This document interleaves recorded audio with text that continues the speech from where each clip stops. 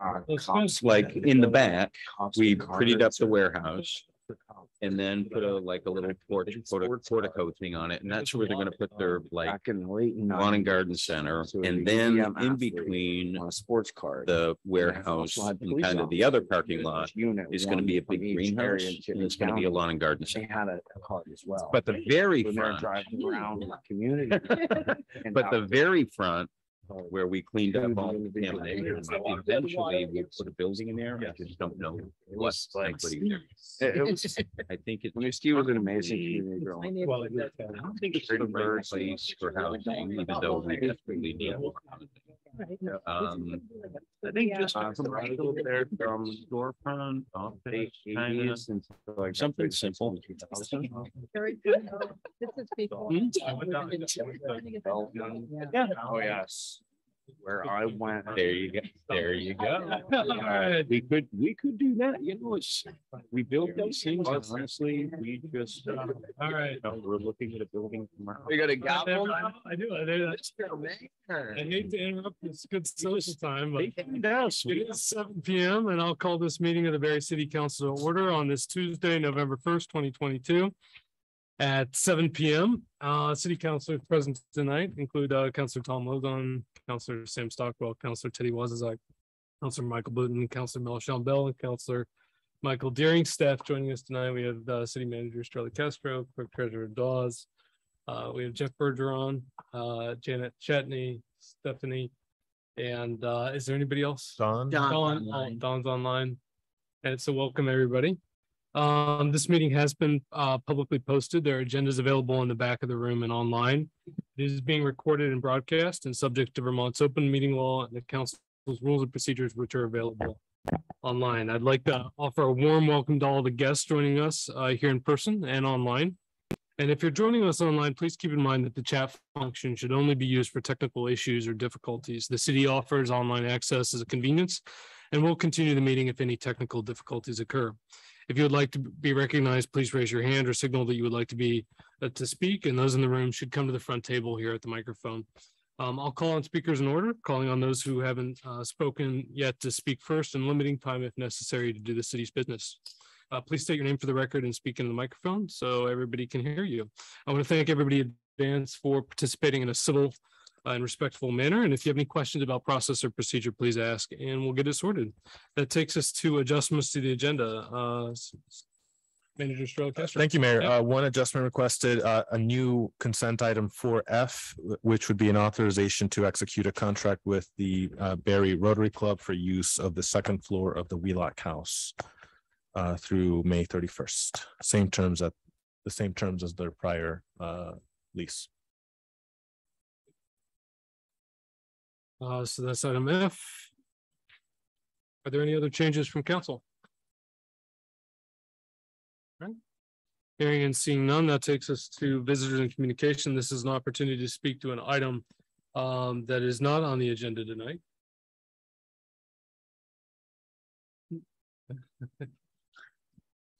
Seeing none online. Seeing and hearing none, that takes us to the consent agenda. We have um, several items. We have approval of the minutes of the special city council meeting of October twenty-fifth, twenty twenty-two, approval of the minutes of the regular city council meeting of October twenty-fifth, twenty twenty-two, approval of the warrants from the week of Wednesday, November second, twenty twenty-two. Uh, are there any, no, no licenses or permits? We have ratification of authorization for the city manager to execute the Wheelock House lease extension as well as the authorization to execute the extension for the Rotary through May thirty-first in the same location. Is there a motion? So moved. Motion by Counselor Waszazak, Second. second by Counselor Deering. Is there any further discussion on the consent agenda? Any comments from the public? All right, hearing and seeing none. All those in favor say aye. Aye. All those opposed? The ayes have it. The consent agenda is adopted. That takes us to item five on the agenda, the city clerk and treasurer's report. Mr. Mayor, here. Touching. I was looking for it. Sign the warrants. Um, let's see, a few things. Uh, we're exactly one week away from uh, the general election. As a matter of fact, at this time in seven days, it'll be over. So there's that. So um, we have just want to give you some numbers. Um, we have mailed out uh, 4,699 ballots. Um, we have received back 1,496. I rounded them up for 4,700 out and 1,500 back. Um, and uh, we also have received a bunch back uh, as undeliverable because of people moving and changes of address. We've got uh, 349 of those that have come back undeliverable. Um, we're actually keeping them um, handy because what we're finding is that there are some that have been uh, returned to us as undeliverable where people are still here and still at that address, but the um, the mailing didn't include an apartment number. So what we're doing is we're getting phone calls from people or people stopping by saying, hey, I should have gotten a ballot. And if we're able to find their ballot in that um, that tray, then we're able to uh, reissue it to the to the voter. So so that's been nice to be able to do that. Um, the it, it's not too late to request an absentee ballot. Uh, we're still mailing absentee ballots to new voters as they are registering here in Barre City. We are getting close to the time where probably at the time where um, it uh, it might be difficult to mail the ballot to the voter and get it back by mail. Uh, but of course, we do have the drop boxes, uh, one on the front of City Hall, one behind City Hall, and people can bring their ballots to the polls uh, next Tuesday. Um, you can also have somebody else bring the ballot either in here or to the polls. Uh, that is certainly acceptable. Um, you can also bring your ballot to the polls and vote it at the polls and feed it into the tabulator. So there's lots of different options for um, for getting your ballots to the polls. I sent something out on Front Porch Forum last week just to let people know what the different options are. So the Board of Civil Authority is meeting this Thursday at six o'clock here um, to uh, for the typical pre-election meeting. Um, and in addition to approving election workers, we're going to review our election procedures to just make sure that um, that we're uh, we're solid on what the rules are for the polling place so that we can provide um, updated information to um, to people who are up there campaigning or poll watching or whatever it might be. We want to make sure that uh, that everybody understands what the what the procedures are um, that are allowed. And uh, I want to let people know that the winter parking ban goes into effect on the 15th as the manager crosses that off his list. um, what that means is it goes into effect at 12:01 a.m. on the 15th. This is something we went back and forth with for a while. We wanted to make sure that everybody understands that's when the 15th starts. So it goes into effect on November 15th.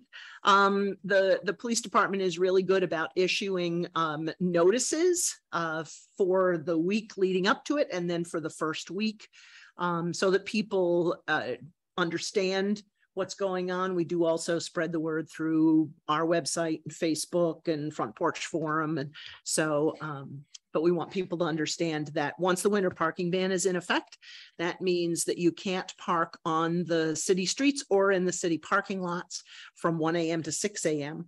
Um, until April 1st. So it's in effect until April 1st. Um, and this is to make sure that the um, Public Works Department can deal with uh, snow events during the winter when they have to plow and keep roadways open enough for emergency vehicles, et cetera. So um, I think that's everything that I've got. Thank you. Are there any questions for the clerk treasurer? All right, hearing and seeing none, that takes us to uh the Liquor Control Cannabis Control Board, and tonight we have two uh licenses from Director Shatney uh for manufacturing, right? So we have one. Or one, from I'm sorry, one license. Yep. Class one- two license. One, one from, from me. Yeah, yeah. Um, the, actually, the, the zoning license was included in the zoning report um, for Green Mountain Hash. Uh, they've been issued their zoning um, license. Um, and now the, sorry, their zoning permit, and they are in front of you this evening for um, their uh, manufacturer tier two license. Um, because there is a fifteen day waiting period with a zoning permit. Um, but I, but we're, we're not meeting, council isn't meeting next week, and then the following meeting on the fifteenth is, is a different format. I didn't want to hold them up.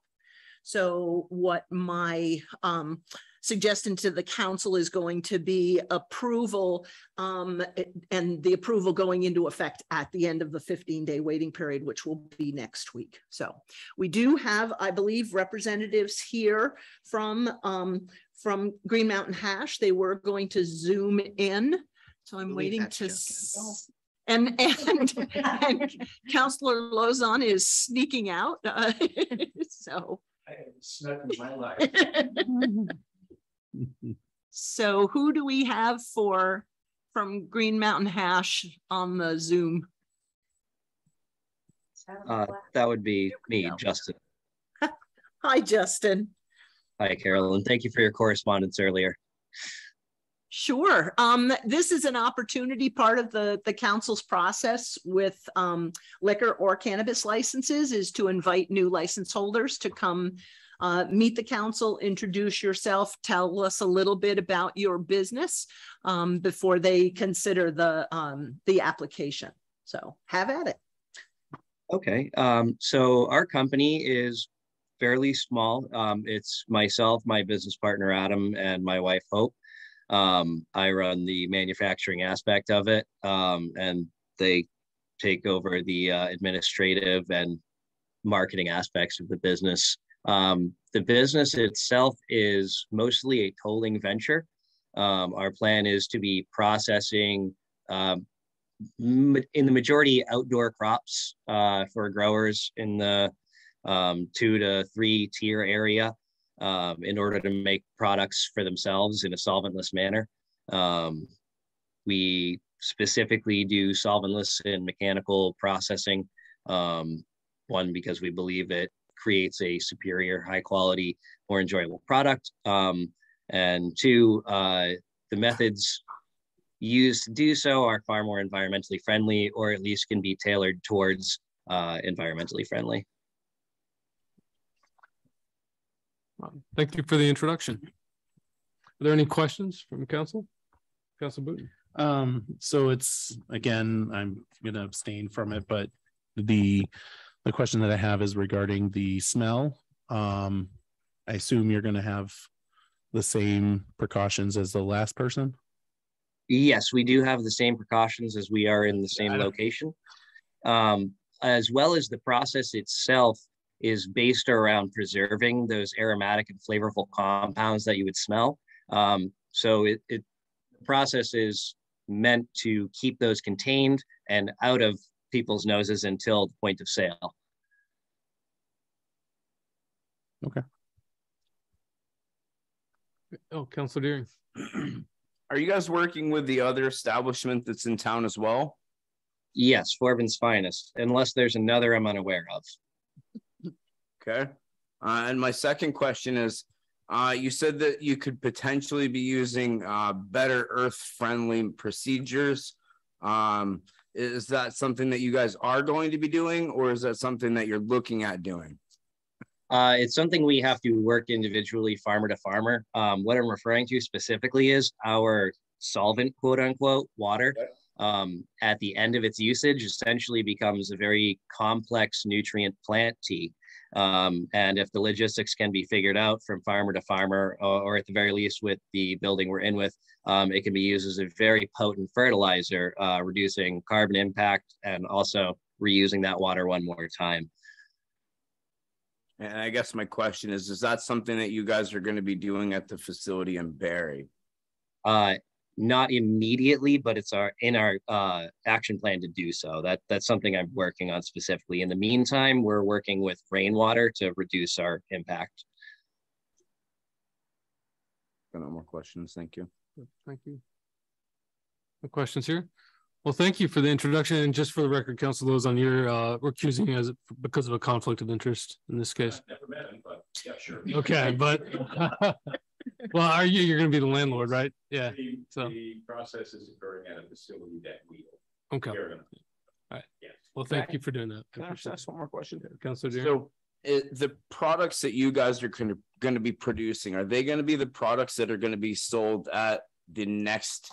I'm assuming that, that somebody's gonna be coming to us to say, hey, we'd like to retail, uh, sell cannabis and these products.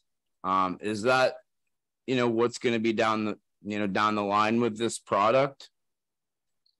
Uh, I'm not entirely sure I understand the question. Okay, so you guys are working with the other individual in town, um, the grower, and you guys are the manufacturer, um, correct?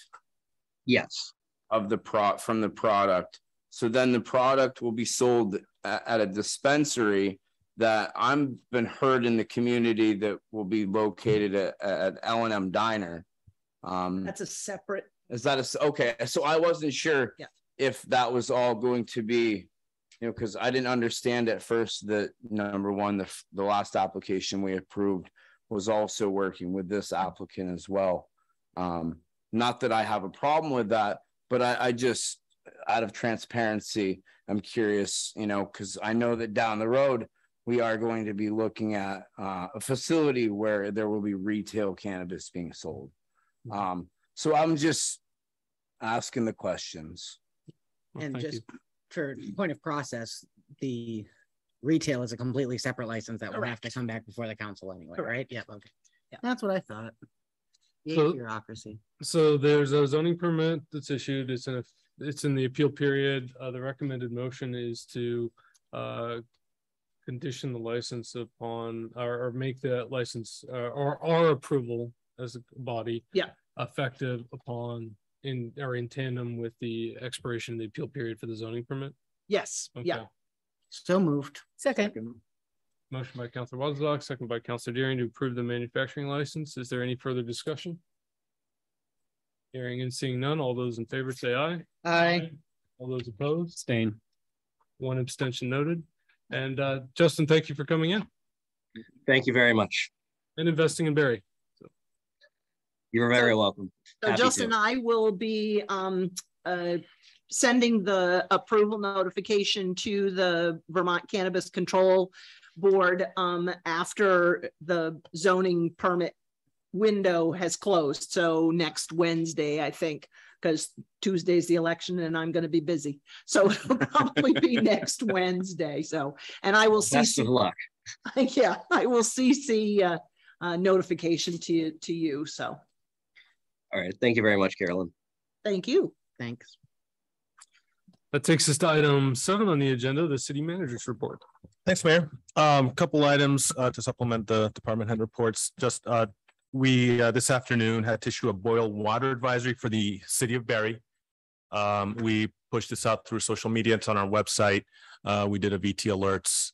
Uh, happened around two P M. So um, if uh in in in city of boil your water uh before drinking it. Uh, there's two, as I said, two water main breaks. One is on Circle and Hale Street. Crews are still working there right now. Stopped there before coming in and they're working hard trying to get to the bottom of the problem. The other on Summer and uh, Summer Street and Keith Avenue, and uh, I believe they're starting to work on repairs. So that one is is starting to get addressed. Uh, so folks will see some increase in color in their water.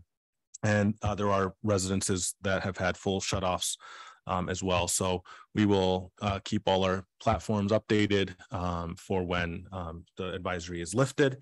Um, and uh, just uh, item number two is uh, great events uh, this weekend uh, for trick or treaters. Uh, a parade, the the Main Street trick or treating, um, great crowds. Um, we did have just unfortunately one one incident with an 11 year old child. Who was struck on on North Main and Seminary that some folks may have heard about. Um, child was treated. So I want to thank our our first responders, police, fire, were able to treat the child very quickly. Um, and thankfully the child, uh, sustained, I think, only minor injuries and was taken to, uh, the medical, uh, Central Vermont Medical Center just as a precaution. So, um, just a reminder, uh, for, as we, you know, uh, prepare for next year for, for events and activities and trick or treaters to keep them safe. Um, but luckily, a, a tragedy was avoided here. Otherwise, they were wonderful events, lots of, lots of kids out, um, yesterday. Um, so I want to thank Tracy for the events. They were wonderful. Uh, I had two participants in my home that enjoyed all of them. So um, thank you for all that work to do, put those together. Um, the clerk took my uh, parking ban note, so I will uh, skip that one. Um, and uh, just a reminder, we do not, uh, uh, part of the reason I wanted to talk about is because we don't have a council meeting next week, uh, which I believe uh, Carol may have mentioned. Um, and the fifteenth, uh, going on to the, the last item to update, um, will be a joint uh, council meeting slash ARPA engagement forum. Um, so very excited about that. That will, both events will be happening at Alumni Hall. Um, and so um, we uh, just ARPA engagement update overall um, is we uh, asking for letters of interest due tomorrow. If they trickle in a little bit after that, we'll do our best to include them in the survey, but really the due date for tomorrow was so that we could incorporate um, concepts, ideas from those letters of interest into the survey. We will do the best we can for anything that trickles afterwards. We, we just can't make promises on it. Um, and please, I, I hope, I wonder if people are just waiting for the last possible minute. We've only, we've received less than ten. So um, please get those in if you're working on them. Um, the survey um, will go live on um, Wednesday, the 9th, uh, November 9th on our website. Um, we'll also get that out through our all our social media platforms. Um, we will be handing out some uh, a flyer for it at our uh, at the election, pending approval of the Board of Civil Authority for that material, just to get the word out. Um, and so um, that will go live on the 9th. It'll be open till December seventh. And as I mentioned, forum um, on the fifteenth um, at Alumni Hall. That's Tuesday, uh, and we will have a council meeting. I'm hoping at six p.m. or so, and uh, looking to start the forum around six thirty. But we will make sure that that information is on the flyer and our social media platforms. But that is the the target at the moment. So that is it for me. Great, thank you. Any questions for the manager? Counselor Wazza, Yeah, just a logistical question. So your uh run of show, for lack of a better term, for the fifteenth would be six to six thirty, just get through the city business, Yes. the warrants and stuff, and then Exactly. thirty. Okay, yep, just making sure I understand. Just with regard to the water main breaks, are there a lot of areas that are without water pressure right now? Um, there, there were growing areas because as they tried to locate the issue, they've had to shut off um, uh, water for more and more houses. So I don't have a, a number from Bill, but I know that unfortunately that number kept creeping up as they were trying to locate the, the issue, the source of the issue. Yeah, do they know how long there will be no water pressure? Bill was, is hopeful, assuming that um, the issue can I be identified on Circle and Hill Street, that uh, they'll have to do testing. They have to do two rounds of testing tomorrow, get Mhm. two clearances of that. Um, so it may be late tomorrow that Yeah, we lift it for the boiler. Yeah, The, the water pressure. The only reason being this time of year, heating systems depend Yeah. on pressure to function. Without what, if the, if it's a, you know, water heating system, it requires pressure or it won't function. I, I believe that the hope is to have that up before the advisory is lifted, but I will, um, I'd have to ask Bill for the specifics Okay. on it. Thank you. Yep. I spoke with, with Bill about it because I live in that neighborhood. Um, and one of the, one of the issues that's making it, uh, a little more complicated and making it more urgent and why they're really working to get it fixed is that they're not able to do a sort of a shut off to isolate the area that needs to be repaired. Um, and that's why it's more broadly spread Yep. for the, the area that's Gotcha. actually out. Um, but they're, they're working on it hard to get it fixed as soon as possible.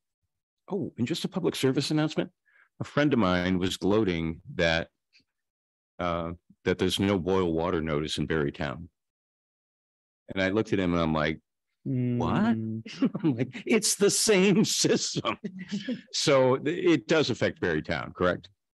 I mean, there are it may not. Yeah, private, would. there are private districts Yeah. within Barre Town that actually service small neighborhoods, but chances are, if you live in the Trow Hill, Trow Hill area, it's the same water. Or Beckley Hill or, yeah. It's, yeah. And I do know that um occasionally we sell water to Barre Town and then they disperse it through however they do it. So those people could be, should be under that as well, correct? Yep. And uh, I think that Even if you don't get a bill from Barre City. You might want to double check that. And we try to, cra- I know the uh, water is trying to craft the, the VT alerts to be broader than our, just Yeah. out of abundance of caution for that reason. Counselor Deering. Just one question about the accident about the Halloween. Was there a parent involved in the accident as well, or was it just the child? I'd heard that there was a parent and the child. I'm only aware of the child. Okay. Yeah. Counselor Stockwell. When the water main breaks, do we, is it predictable in some ways? Like, is it the oldest ones first? Or is there, are there other factors and we can never predict which thing is gonna break next? You know, Bill's would be the best person to answer that. Um, I think what happened today was uh, related to some of the flushing activities that were going on. So I don't know that that would have impacted the, the age of the infrastructure wouldn't have had a direct impact today. Um, just from what I've tried to absorb from, from talking to Bill about some of the issues we've faced, that it, it can be, uh, certainly the age contributes to some of it. Um, I know that, um, for example, some, sometimes it's, you know, something, it- it's a matter of a tree root growing into the, into the pipe. So it's, I think it's a little bit of everything today. Today wasn't specifically related to the age itself. Thank you. If there are no further questions, that takes us to uh our first item of new business, which is holiday free parking request from uh the Barre Partnership uh delivered to us from the manager and at the request of Tracy Lewis, Director of the Barre Partnership. Welcome. Hi, thanks for having me. Um, so yes, I put in a request for uh free parking for the holiday season, uh, beginning on Thanksgiving to go through the new year. Uh, we do this, we request it every year and um, I think donations can go to a um, an organization that the city council chooses. Um, last year I suggested the Barre Garden Club. And this year I would like to request it to go to the Renita Marshall Helping Hands Foundation because they do a lot of good work for for Barre and and the kids in our area. So um I guess we need uh we we we have to uh, adopt a first emotion on the um, well, first, if you have any questions. Yeah, yeah. yeah. Does there any anybody have questions? So moved. Second. All right, so there's a motion to approve the parking, um, uh, free parking from Thanksgiving to the New Year's. Is there any further discussion on that one? Do we want to add in there the suggestion? Uh, I was gonna split the questions. Um, normally the council has, uh, made nominations, uh, at least in my past three years or. Uh, Okay. the councils, and I, I think, uh, last year, the first year we did, Okay, you Yeah. don't have to explain. That's Yeah. fine. Yeah, we did the food bank one year, we Yeah. did recreation programs one year. Oh, yeah. and I know, uh, Clerk Dawes has suggested the, um, supporting the, um, uh, heat assistance, emergency heat and fuel assistance, given the high prices of, uh, fuel costs this year. And Yeah, Capstone runs a program like. Right, right. We talked last week about um uh doing a um. A distribution from the Keith Fund, which Mhm. I will bring to. Whatever the meeting after the fifteenth is, twenty second. 29th. Oh, yeah, that's right. Twenty Well, second. Oh, right. Thanksgiving. Yeah, okay. Mhm. So the 29th. I'll bring a request to the, to that meeting. I'd be happy to do the stickers again. Okay. Let me know when you have them. All right, I'd like to help as well if possible. thank you very much.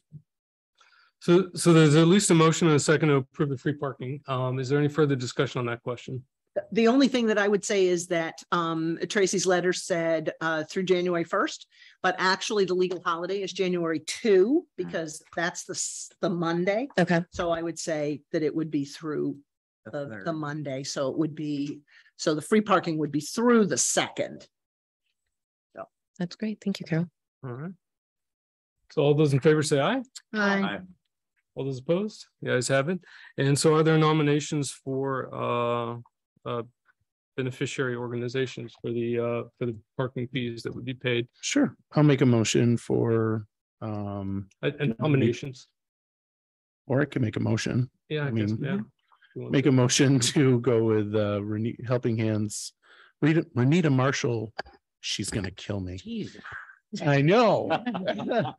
Renita Marshall's uh Helping Foundation, Hands Helping Hands. Foundation. Wow, I- that's. Renita Marshall. Well, Helping Helping Hands Hands Foundation. and I'll Thank you. the motion. Thank you. Sorry. Wow, that was. Is she online? She is not. You're.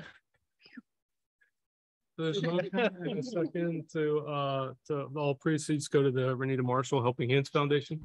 All those in favor say aye. Aye. All those opposed, I'm a nay. Eyes have it, the motion passes. Thank you very much. Yep. That takes us to FY twenty-four, the budget. And part. Tracy, just one second, uh, have a seat. Social media was uh, a little tough on you this morning. And I'm sorry. Thank you. um, that incident, um, I had to go to the bank while the trick or treaters were, uh, you know, running about. And I got down to the bank and I had forgotten my deposit, so I had to go back home and go back. So I went through four times in the span of uh, twenty minutes. Uh, You know, the parents were attentive. I mean, kids are kids. They were excited. Parents were attentive. The, you know, um, certainly couldn't have offered any improvements. And it's not lost on me that as I, I didn't know where the incident had occurred. But as I read all of the unfair comments on social media, it made it sound like it was right in the middle of downtown, and it in fact wasn't. Correct. And they said, you know, the city should have shut down the, the main street and the police officers should have done better and you should have done better and I should have done better. And the mayor should have done, and everybody should have done better. But it made it sound like the incident happened where the trick or treating occurs, which is, you know, generally. Now I'm dating myself because I don't know what bank it is now, where Chittenden Bank used to be down, you know, to the cornerstone. And that's generally where the activities are occurring. And that unfortunate accident, and I'm thrilled that the child is, is going to be okay, happened way up by Seminary Street by Bud's entire RK Miles. Um, it was Seminary Street, correct? Yes, right near Key Bank. Oh, by Key Bank. Okay, by so Key not Bank. quite that Yeah. far up, but not, not Yeah. where those activities are normally occurring. Yeah, there is some trick or treating that still happens down there and we're aware of that. Uh, but it wasn't up in the, the main area. And when we do have a request to shut down the streets, my understanding is we usually just go to Granite Street so that the flow of traffic on the back streets can continue. So, um, the streets wouldn't have been shut down Mhm. to where the incident was. But you know, I, I know how hard. Thank you. know, and I know how much that must bother you. You Yes, know, I- Thankfully. I when- re- you know, drove down there as soon as I heard and, and made sure Things to, happen. yeah. You know, I've had, had accidents. We've all had accidents that are unfortunate. And, you know, hindsight is always twenty twenty. So I, I- you know, again, I just, I felt badly because there are always people who use social media as their own personal, personal bashing grounds, and I don't like it. Yeah. And I don't like the way you were treated and your organization was treated because I know how hard you work. Mm-hmm. So Thank you. I just wanted you to know that. Thank you. All I'm right. just glad that the, the boy is, is safe. Yeah, and, and since Mary Jane's here, I figured I'd ask, how long have we been doing this? So sh- for those that couldn't hear, thirty years, and how many incidents have we had? First one. Thirty years. each Yeah. year. Anywhere between, because we count the candy, anywhere between seven hundred and a thousand. Oh, seven hundred and thousand kids each year. And the merchants make nothing. Yep. Except, you know. Goodwill. It's, We all yeah. love it. The smiles on the kids' faces. It's really, And, and Out front, giving out candy. And Yeah. so It's a really, really good thing, and it started in the nineteen eighties. Yeah. You know, and, and Counselor Lauzon, I, I agree. You can't, you can't prevent everything. I mean, even if, even if we did shut down the, the, the street, it would have happened anyway. I mean, that's, that's where we wouldn't shut down. Um, although I wouldn't be opposed to shutting down Main Street during that time, but you know, it's something that we've discussed in the past and we didn't do it. So Well, and I think now is the time that we can discuss and, Yeah. and talk about future events and how we can make it safer. So I think that's what we're gonna do and, and go from there. So, um, thank Mhm. you very much. Say that we should have volunteers. I was just gonna, who, um, Stand out in crosswalks, and I just went last year. Yeah. And Mm. um, try and get as many people as we can as volunteers to stay in the crosswalks and help the kids pass. And as a, as one who's done it myself, cars come at you sometimes at breakneck speed. Yeah. Even though you're standing in the middle of the road, and you can't control that. And so we try, we've had, in the past, we've had the junior ROTC down here helping. We've had Norwich cadets helping, we've had merchants helping, we've had parents helping. I mean, we try every year to get the crosswalks Mm. covered. Yep. Um, and it's daunting to get that many volunteers, but we have a lot of people who are there and we are watching the crosswalks and aware of that there are a thousand kids on our main street game. Um, so I just want to make you aware of that, but we do have volunteers who come down and Yep. help us. and for those that are listening online, I don't know if you heard, but they, they do have volunteers that, that uh, participate and help with crossings. So thank you. And that's Thank you. all organized by volun, well, and and Tracy. Thank you again. I just wanted to add to that as a father of four, that all four of my children went down. We had a great safe event. I did a couple of live feeds uh, on Facebook. Got to see uh, Mary Jane and got to see you, Tracy, and and really a, a lot of different business owners in our community uh, came together just to have fun for our community. Yeah. And to see that, to see that blessing right there, that's just that's what community is about. So thank you really for for everything that you put into that and that you continue to put into the partnership. Thank you. And if, if you haven't checked out on social media, I did a little bit of a reel from yesterday's events and, and it came out pretty good. So check it out. Yeah. Thank you, guys. Great post. Yeah, I saw the post for that uh, you shared on your page, the Wabi Jewelry page of all the kids in front of the statue. Really cool to see. Thank you. All right, so uh, so we're gonna definitely have uh more, more safety focus hopefully, Never uh, realized next year in terms of seminary in North communication ahead of time. until you said Went to North Seminary. That's a sight on. I wasn't listening. So that takes us to the FY twenty-four uh department budget reviews. We're gonna start with uh planning, permitting, assessing, go to buildings and community services and end with the recreation department, right? Bang, boom. Um, so if I, uh, I'll just set the table a little bit, uh, while Janet gets ready. Um, she'll be doing, uh, similar to what, uh, Chief Vail, interim Chief Aldsworth did, uh, last week. Going through, um, high level presentation of the highlights of, uh, major components of the budget. Um, we did provide the line by line, so Janet, myself, Dawn, online are able to, uh, answer those questions as well, but we're, uh, Janet will be focusing on sort of the, the high level overview for you. Thank you, Mayor. Janet. Hi, counselors. Janet. Hi. Uh, my presentation is pretty straightforward. As you know, I'm a, a fairly small but integral part of the city. Um, hope to, if you could go to the next slide. That's what I aspire to have is all this well, right? So, um, right now it's Catherine and myself. Um, our, uh, cost centers are listed. So if you're ever, you know, right in the weeds in the budget, you'll know exactly where to go. Um, let's start with assessing. As I said on the slide that, um, we, we have a very minimal increase with, uh, the assessing budget from twenty-three to twenty-four proposed. Uh, a 0.4 percent increase, and that's essentially, um, I think attributed to salary adjustments. With the roll-ups that the manager and the finance director have, um, completed for all, both my departments, it makes it easier to focus on, um, you know, the, the meat of my budgets. Uh, my next slide is just some, a lot of people don't know what assessing is and what it does. And, you know, the big bad assessor says no half the time. It runs the whole show. I wanted to give you a bullet list of the kind of things that come out of the assessing arm of my office. Um, It's just an FYI. I think it's important that, that folks understand what it is that that uh, we do and the deadlines that we have and how we get to a grand list and how it's built and then the myriad of deadlines from April 1 to August 1 that occur. Um, so that was my assessing services 101 for you folks. So if you haven't had the time to read it, I highly suggest, you know, reading each of my bullet points so you understand what happens in my office. And the next, so if you go to the fun facts, I thought that might um, be helpful that uh, some people don't know how to read a property tax bill.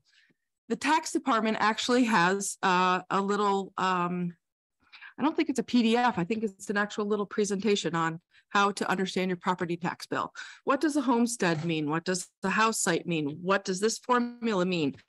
And I thought it was really important to uh, put that out there so people see that, um, you know, even the tax department is always trying to educate the general public on, on your taxes and your tax bills and what it all means. So, and statistics, um, you can't really tell um, because these are really finite, tiny little graphs. Um, but it really boils down to what I wanted to show was property sales Sales have been consistently high now for two and a half years. They are generally starting to slow down. Um, but I can tell when my assessing clerk, Catherine Brayman, puts together the property transfer list monthly, and she tells me how many pages it is. And she just told me October's ending with almost four pages. That means there were a lot of sales in the city. And I think that will continue even with the interest rates to climb. Um, so the upper left-hand um, chart, the, the tallest number represents the actual number of sales, while the little the little shows, you know, broken down by um, different types of homes.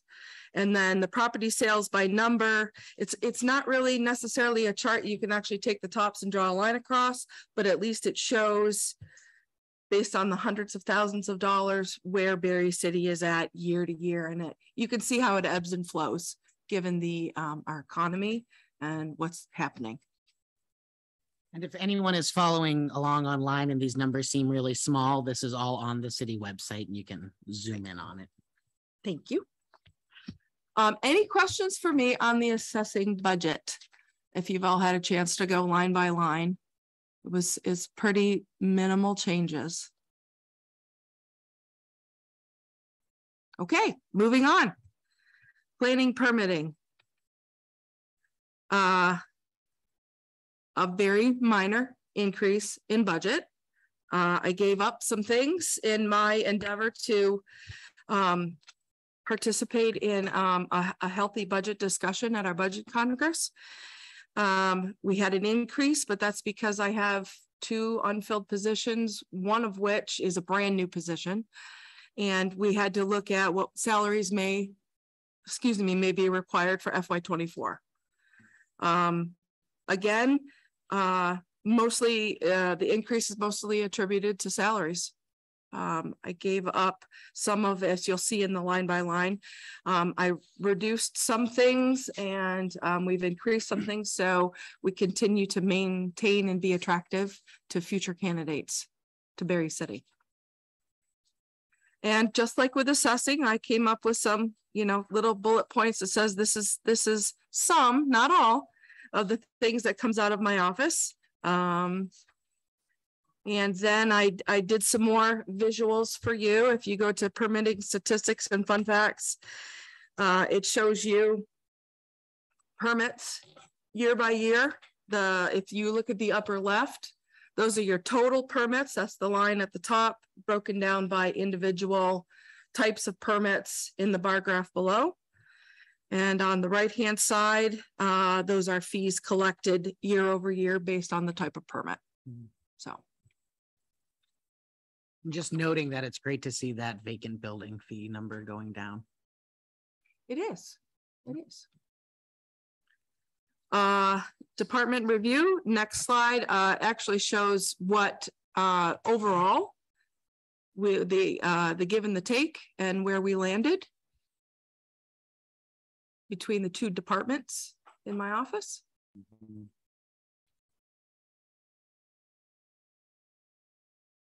Any questions? Counselor Deering. How can we get those positions filled for you? We are working on that. I actually received an application from the HR manager that he received on Friday. Uh, so we are setting up an interview for a permit administrator position. We'll, uh, we'll feel that one out and see how that goes. And, um, the city manager, bless his heart, has resurrected a conversation with our, um, consultant that's going to be doing our reappraisal uh, to see if they are willing to work in their schedule to help us out. When we first talked to them two years ago, they, it was an adamant no, they didn't have the time. Um, the door is opened a little bit, so um, we'll see what happens and the manager will keep us all apprised of his, his progress. Yeah, I'm, So- I'm really hoping that, um, that we get something there. Uh, I, you know, and, and, and Janet knows this, it won't be the entirety of the assessment services that we need, but if it's, you know, four hours a week, eight hours a week, whatever it is, it's four more hours that, uh, that Janet doesn't have to put into that work and helps us and helps the office. So, um, Helps the grand list. exactly.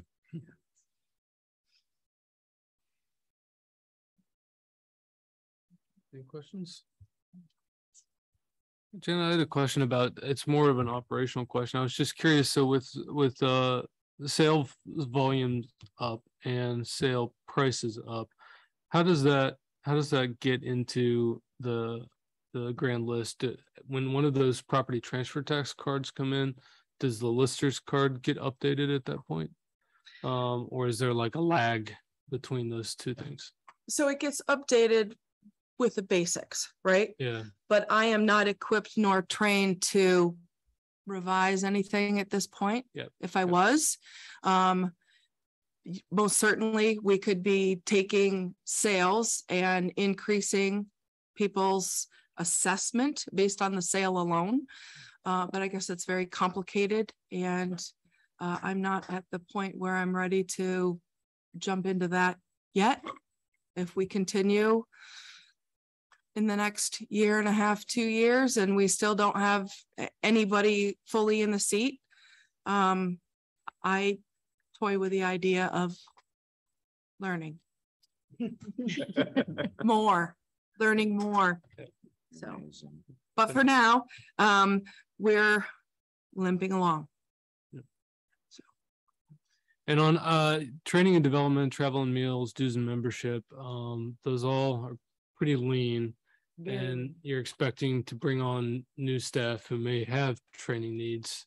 Uh, do you think that's adequate to both attract uh or or maybe for maybe a question for the manager, is that adequate to attract? Um, a a new planner and then uh support their training needs? Um, it, it's certainly not the level of training development we want. I mean, I- and I think that's, that would be across the board. I mean, that's one of the, that's one of the areas that every department took a hit on because um, we're at the point where so many of the, um, the areas where we can work around are, are the margins. And so um, this is one of those sort of non-discretionary areas where we had to um, make judgments. And I think what, um, what I would say, my, my strategy would be is that if we do find a candidate who uh, is is a strong candidate for that position and required that training, um, certainly I would make sacrifices in my budget, um, and we would, I think, find the resources to to do that. I, I don't think that would be an impediment to us um, if we found the right person uh, who needed it. Um, so, but but I think for now, it's it's really one of the few areas we have the ability to try to meet some of the, the targets based on the, the rates we were trying to get to. It's a great question because I've always said those line items have always been too lean. Mhm. And to keep seeing them getting bid away at is, is, is hard. Um, giving it up now, hoping to gain it back in the future when I'm fully staffed. Mhm. So, I- I- some came out last year, so. And on the grants, if the twelve thousand, uh, you know, twelve thousand being taken out of a grants match, uh, with the expectation that ARPA is gonna be used. What does that look like for this department in the future? Then that, that there's an kind of a bigger gap to bridge. Uh, once that money dries up is a, I guess that's a question for the future, really. Yeah, it's, it's, I mean, it, this is one of the things I hate to do, which is to build ourselves a, a new fiscal cliff that we do have to, uh, deal with in the future. I think one of the things, um, Dawn and I have talked about, um, doing is, you know, this, the way we we went through our budget process now is we look at a lot of prior year history, which is very good for helping us project and make um, assumptions about FY twenty-four. I think one of the things that we're going to work to do is to create, you know, if we do this in twenty-four, what does this mean in twenty-five? What does this mean in twenty-six? So that we can't, we, because there are so many things that are cyclical. So this would be an area where ideally what we would do is in twenty-six or twenty, you know, twenty-six, start showing some increases um, back into this line item because ARPA would disappear. Bill, uh, Bill Ahern's budget is a great example of this because some, he has cycles in terms of, um, you know, some of the salt purchases and uh, clerk's budget, also a good example because of the election. So right now, we took a lot of savings in elections that next twenty-five, we're not going to be able to take. So I think one of the things we'd like to do is get to the point where we can show the council, hey, this is what it looks like in twenty-four, just so you know, this is what it means in twenty-five and twenty-six, um, because you're absolutely right. We, we have to, it's, it's a temporary, it's a temporary Band-Aid, uh, that I would prefer not be a tool that we use, but we, we were trying to, we were just trying to get to a target. Yeah. Yeah, it's hard to see it go from fifteen thousand down to twenty-five hundred. Um, I'm the only cost center that carries a line item for grant match. So, um, this is gonna cover my department only for anything in FY twenty-four at this point. But as the manager said, I'm, I'm gonna be right there ready to pound it right back up to what we need and, and potentially help other, other, um, department heads if they need it. Um, so there's a future. You're welcome. It's good to hear that you plan on still being here to count for that money in 25, 26. Thank you. Today. But just, I, I say this Gonna every time, chain here, you thank you. You're the best. I hope we can get you those positions filled as soon as humanly Yes. possible. So fingers crossed, you know, in the next couple of months, I find a permanent administrator to to help out with just some of some of the duties. The, the day-to-day duties really, really are burdensome Mhm. in that I can't get to some other things and you can't just leave somebody hanging at the counter. Mhm. Um, zoning permit applications have a, have a timeline. Um, you can't leave an electrician or a contractor out to dry. Say, well, I'll get to you in two weeks, you know, that's, it's, um, it's been difficult, so we'll get there. I, I truly believe we'll get there. Um, it's just gonna take a little bit more time. I just crossed my mind and I don't know if you've already looked into it, but is there any way that we could like rely on like Adecco or um Kelly, Ser- is it not Kelly Services? What, what's the, a- another temporary agent? Like? Westaff, Yeah. I, West I Staff, you. believe our HR manager, Rick, looked into that and, um, for whatever reason, I don't remember the reason, I apologize, um, but it, that was not something that we could utilize. Okay. So, so, um, people don't understand how technical um, a zoning administrator, a permanent administrator's work is, and um, sure, I could have someone answer the phones, but that still means taking a message and then handing it off. It's Yep. someone who's willing to invest the time and learn legal aspects of zoning. Council Lauzon? Oh, Uh, sorry. thank you. Um, earlier, Janet, you said, um, you know, quote, we're limping along. Hardly. Um, you know, we work very hard to attract businesses to Barre. I work very hard at it. And, you know, we've permitted some new ones. And I can tell you that your attitude, your customer service, the way you treat people, it's second to none. Even coming in here tonight, your attitude, you're happy, you're smiling. I'm not happy today. Spent the afternoon with a bunch of lawyers. It's awful. You know, but you're always, you know, I just want you to know that. Yeah. How much I, how much I think we all appreciate your attitude and I know how difficult it is when you're down everybody. Um, but thank you because you have you've just done the job and most importantly i get it i'm not blowing smoke up your rear it it's what i get from the forbins folks from lajeunesse construction. When people need answers and what you just said you can't leave people hanging you don't leave people hanging. And i know that often you know when they go to you at four o'clock in the afternoon and they have an answer by nine o'clock the next morning it's because you didn't grab dinner at mm-hmm. six o'clock, maybe you grabbed dinner at eight o'clock. So, you know, just thank you so much because I can't do what I do. I'm at a point in my life where I love bringing businesses to Barre. I love working with young entrepreneurs, but I can't do what we're trying to do if if I don't have support in the city hall, and you are that support. You and Carol. You're the two, two, you know, like call Carol, call Janet. If you can't get an answer from them, there is no answer. So, but I, I- you know, I just want to say thank you very much because especially now this summer, you know, the construction projects are not going as smoothly as anybody would like. Um, but an answer from your office always does. So thanks. Thank you. And I just wanted to, to say with regards to, um, uh, changes to the grand list and, and accounting for sales and stuff like that, it's, it, it's not as simple as just plug a new value in based on the sale. Because, um, the grand list needs to reflect equitably the values across the city. And if you've got two houses next door to each other that are assessed at the same amount and one of them just sold for mm-hmm. fifty thousand more than their assessment, that doesn't mean you can all of a sudden jump up their assessment. So there's a lot more to it. And it's, it, it's actually a big part of what's going to happen starting next spring when we start the citywide reassessment, which is going to really level our playing field across the, across the city, which will be great. That's right. It's all about um assessment being fair and equitable. And um we're gonna overcome some of the unfair and unequitable neighborhoods in the next couple of years. And I, and I look forward to, you know, that finally getting done. Nice. Jenna, what are some of the things you're hoping to hand off to the junior planner permit administrator? Are they mostly going to be doing development review support? Um, or will they be doing more like long-term comprehensive planning projects or special planning projects?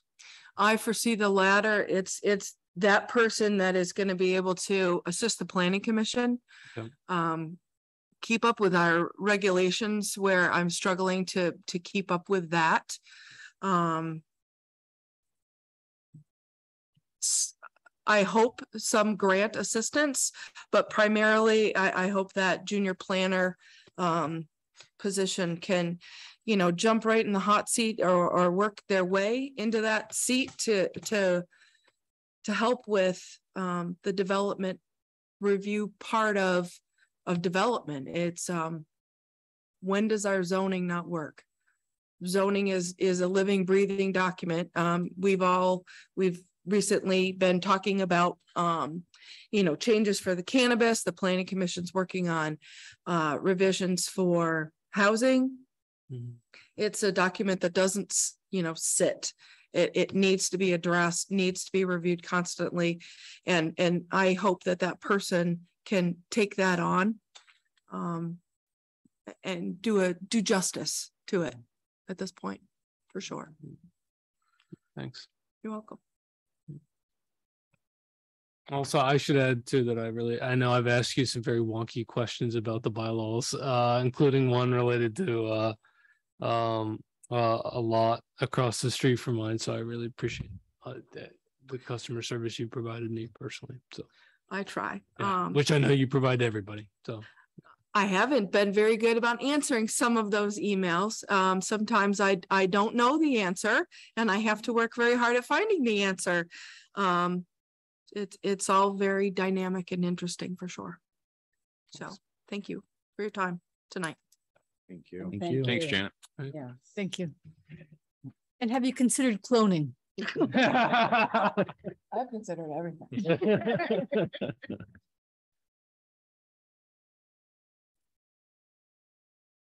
All right. Jeff is up. Buildings and Community Services. Good evening. Good evening. Good evening. So I will start off by telling you that um, at the very first budget congress, I did not endear myself to the city manager when I cut the city hall maintenance budget by about five thousand dollars and told me he's have to put up with the heat in his office. Um, But we did, uh, the Congress, I thought went very well. Was a little hesitant at first, you know, being all together at one time, doing that. Um, I thought it was an original idea. I thought it was a great chance to look at everybody's budgets and take input from your fellow department heads. It was, it was an, an excellent experience. So the facilities, BCS Facilities Department consists of myself. Um, we have four maintenance positions right now. Um, and actually, we're down to three. Uh, one went out today for surgery. Um, don't know when he'll be returning. We also have another position that is basically staffing public safety maintenance and city hall maintenance. And we have one vacant maintenance position. Um, the in-house posting for that position came down yesterday.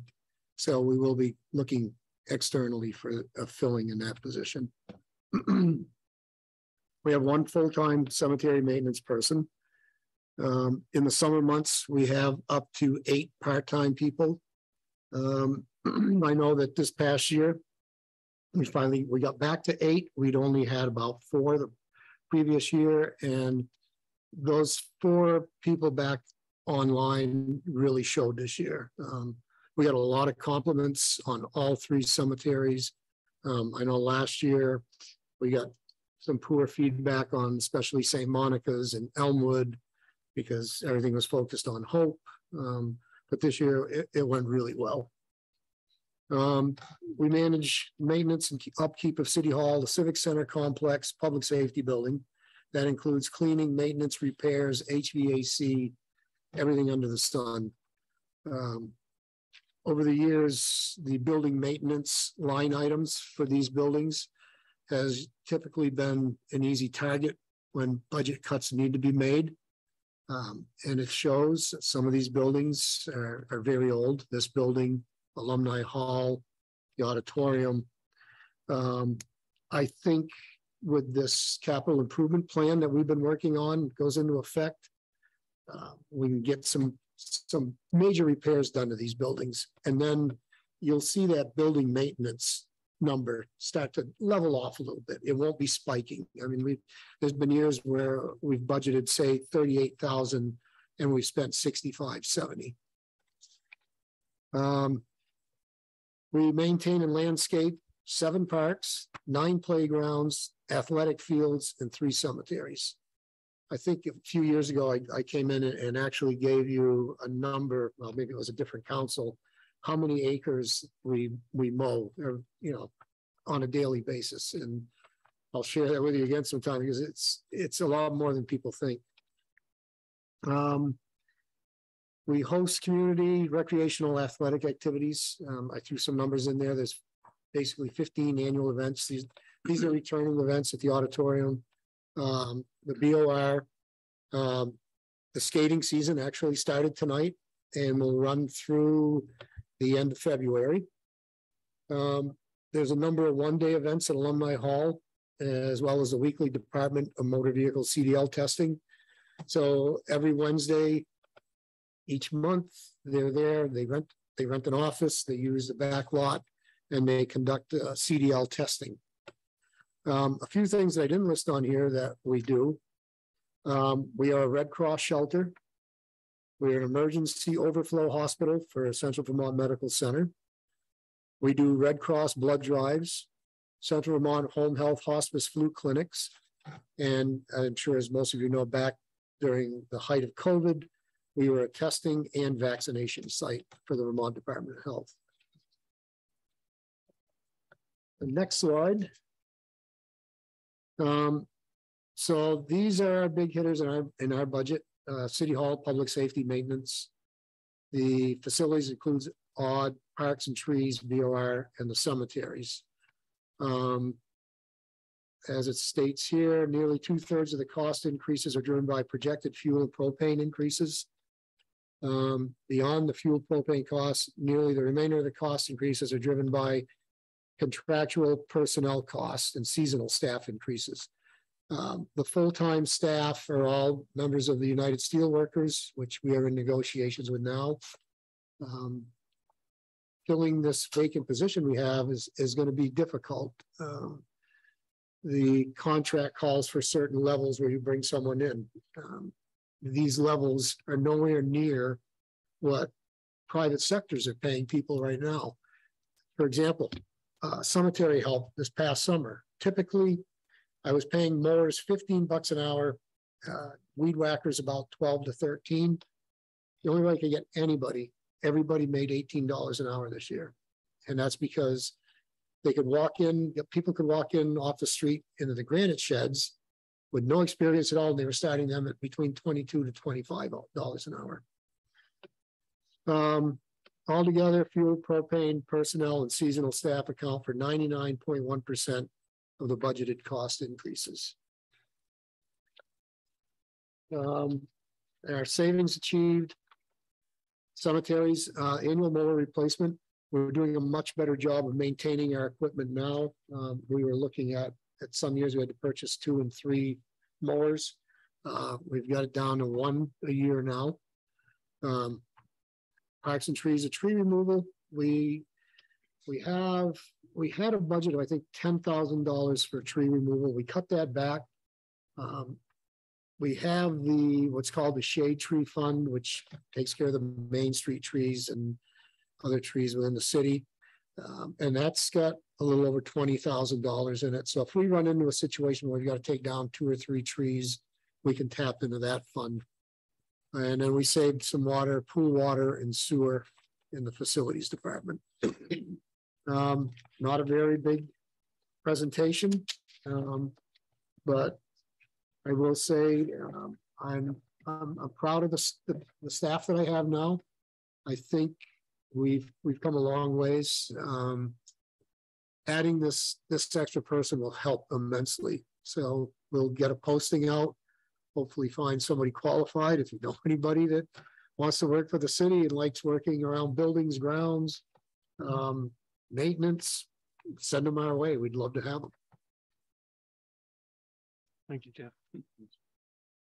Any questions? Uh, I'll ask one. So on the um the building, the city hall maintenance fund that's uh, budgeted for, was it sixty-seven this year? Or next, or no, it was uh, it's down. Down to, it was sixty-seven and twenty-one audited and now it's uh twenty, or, I'm sorry, I can't follow my line here, twenty thousand, right? It's down to twenty thousand. Twenty thousand. And so that, that covers things like the HVAC and it'll cover That'll just be- anything that comes up that needs fixed. That'll just be regular repairs. There's still, we still have some code issues to deal with, but we still have money from the one point seven million dollar bond Okay, that is earmarked for code violations. okay, And that's what the majority of these, these items to be done are under that. So we can cover them with that bond money. and that includes like code violations like the bathrooms not being ADA accessible and things, Yeah. okay. Sprinklers, um, smoke detectors, uh, fire alarm panel. Thank you. Any questions, comments? one. I know you're gonna hate me for this one. So, um, trash is in the parks. Is that something that we can kind of get back? Tra- trash. Tra- Trash cans in the parks. I know that, um, we've developed over the years a, a, a kind of carry in, carry out policy.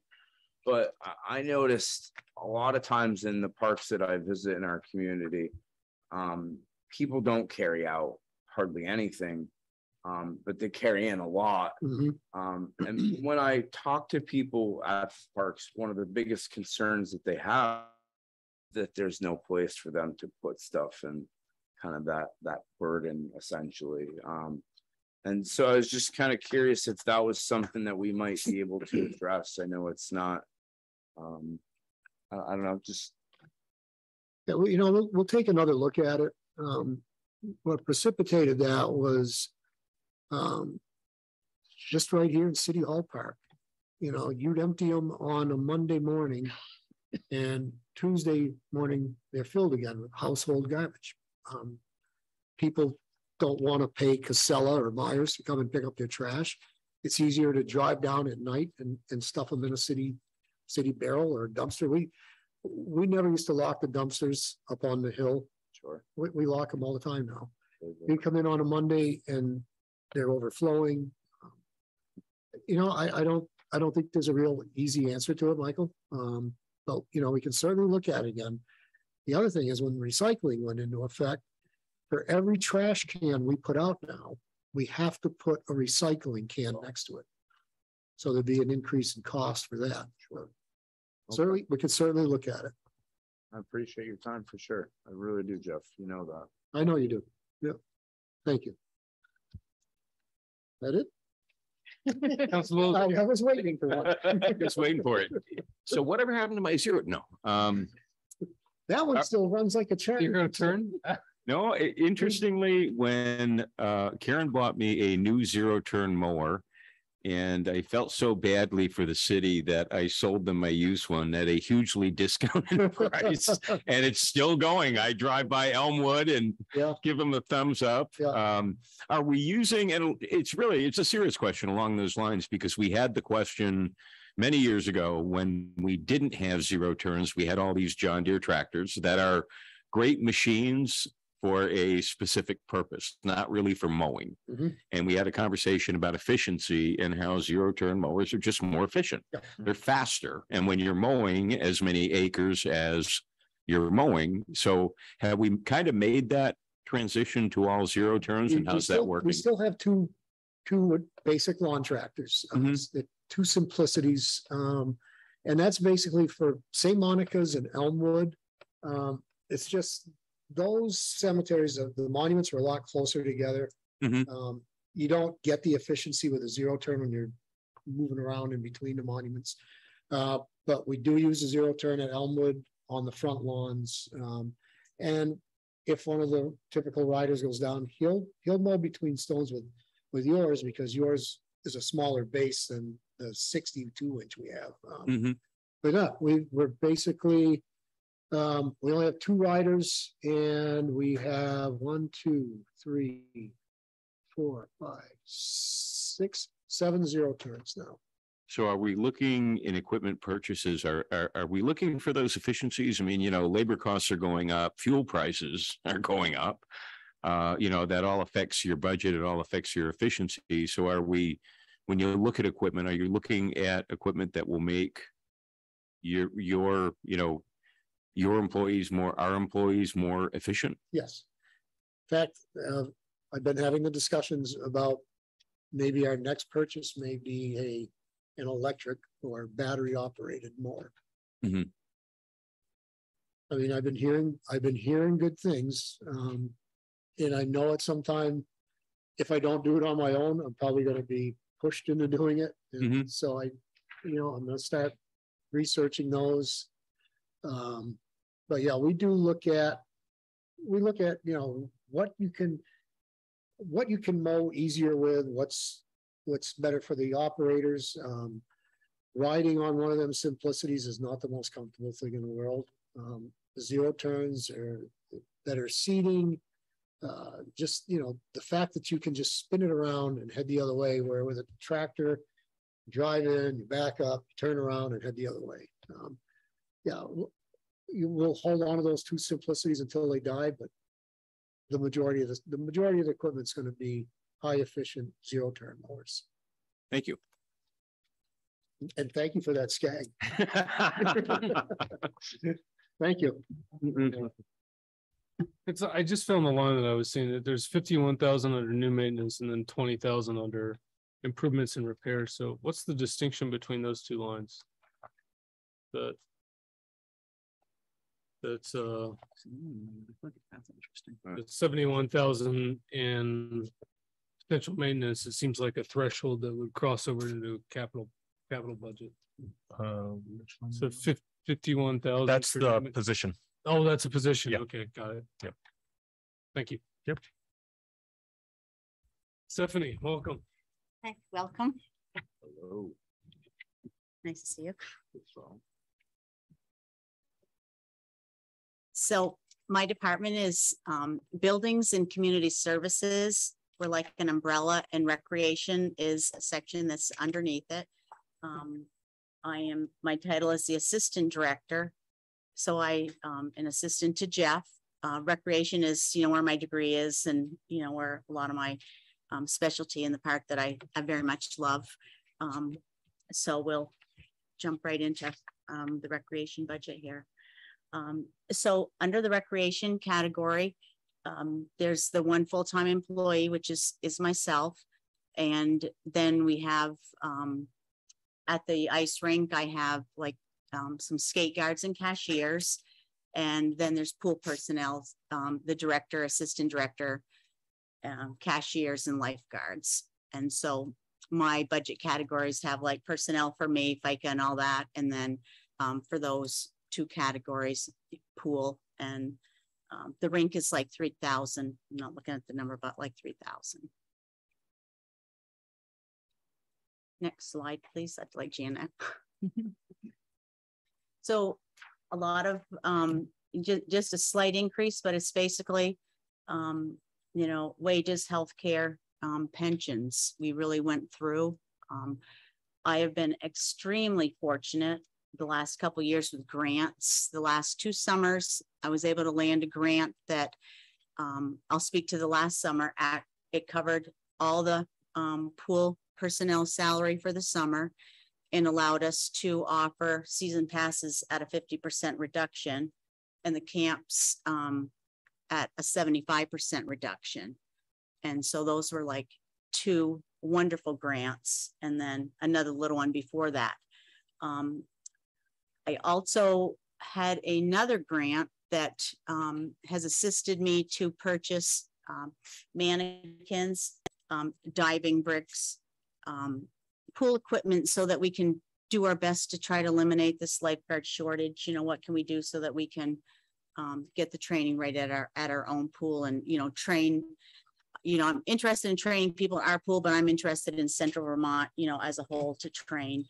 Um, it also has now given me things to expand um, programs like a water aerobics. I the grant helped me to get some equipment. So when I offer the program, you don't have to worry if you have the equipment, you sign up. Um, so next slide, please. and you know your basic dues membership fees. Um, I'm very active in the Vermont Recreation Parks Association. Um, I think I've held all the offices that you can hold, so I'm kind of like more on. A, I think they wonder what I'm doing right now, but I've I've been to all those. Um, and you know I keep up with the NRPA because that's where a lot of grants come through, so that is a is helpful.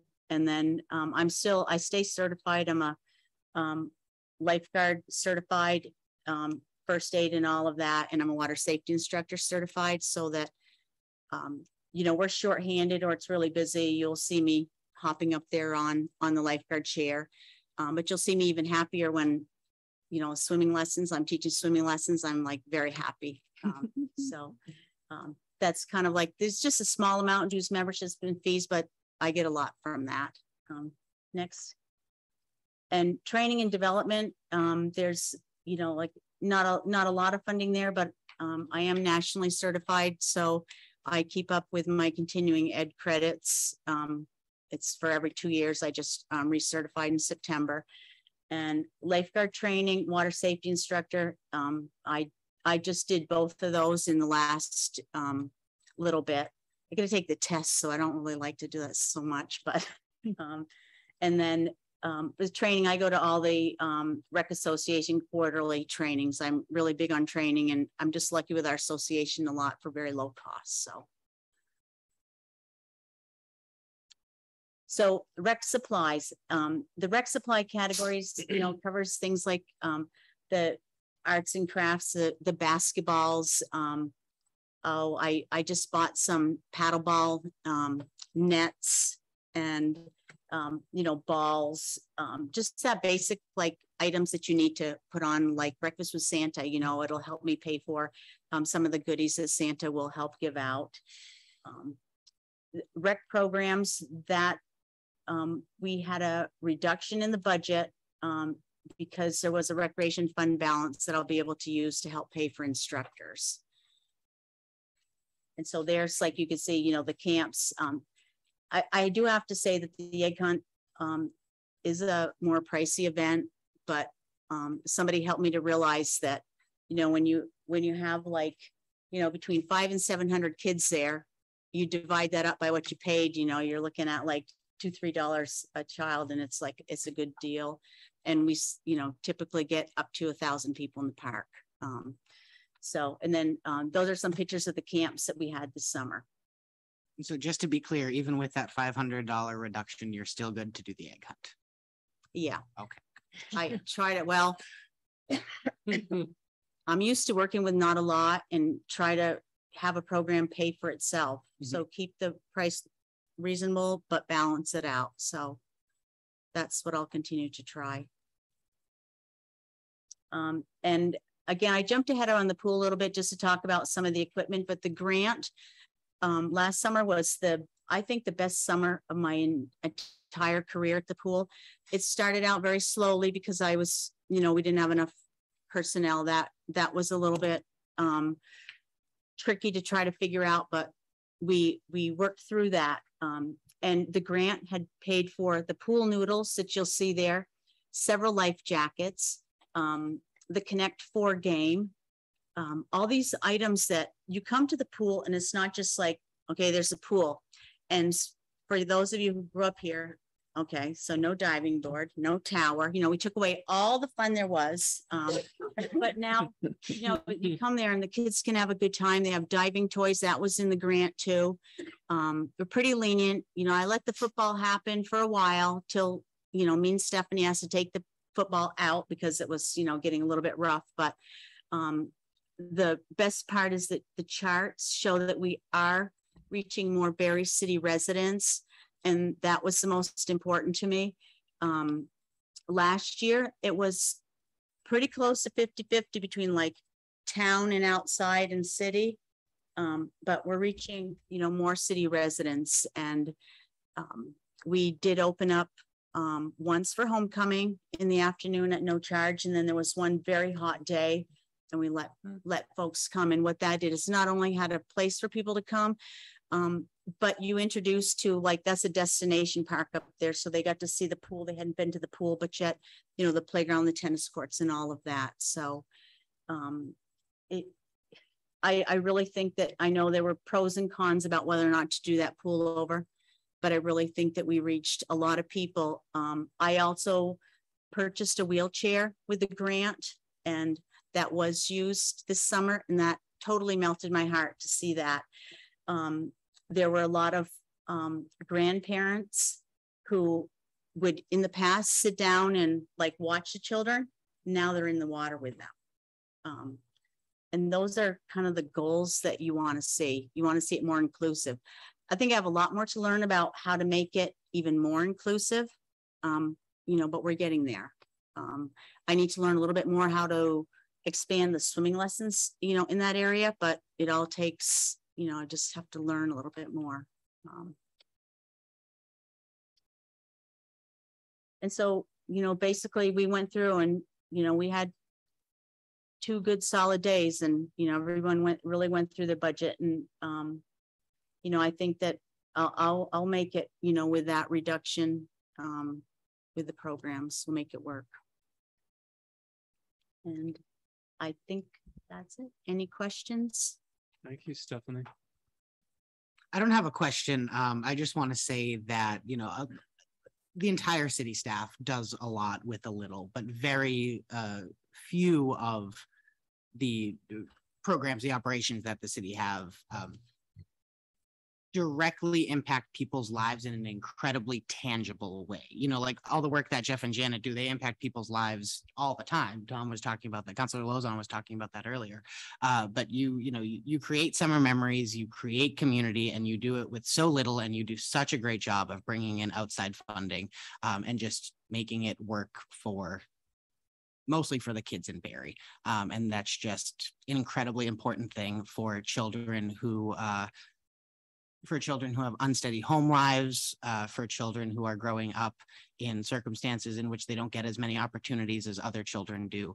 Uh, you make sure that at least whenever any kid comes to one of your programs, um, that they have just as much of uh, of access to those programs as anybody else in Barre. And that's just incredibly valuable and incredibly important. And I know you know that, um, but uh, I just wanted to say that out loud and say thank you. Because Do it's let some really in for free.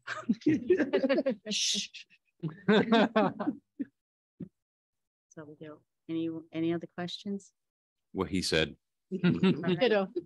Thank you very much. just a compliment for you about the, you know, everything that you do. I know you and I have a lot of interactions. I mean, all the time. Um, but you're always amazing. And, and the things that you are bringing to our community, like Councilor Waszazak had said, are just priceless. The Easter egg hunt um, that, that both the mayor and I were able to go to um, and, and help participate and set up. Um, and just all of the smiling faces uh, and, and are the reason that we do these things. And it just, your entire presentation just kept a smile on my face, knowing that the, the things and the memories that we are bringing to these children and these families and people in our communities. Um, just- thank you. I appreciate it.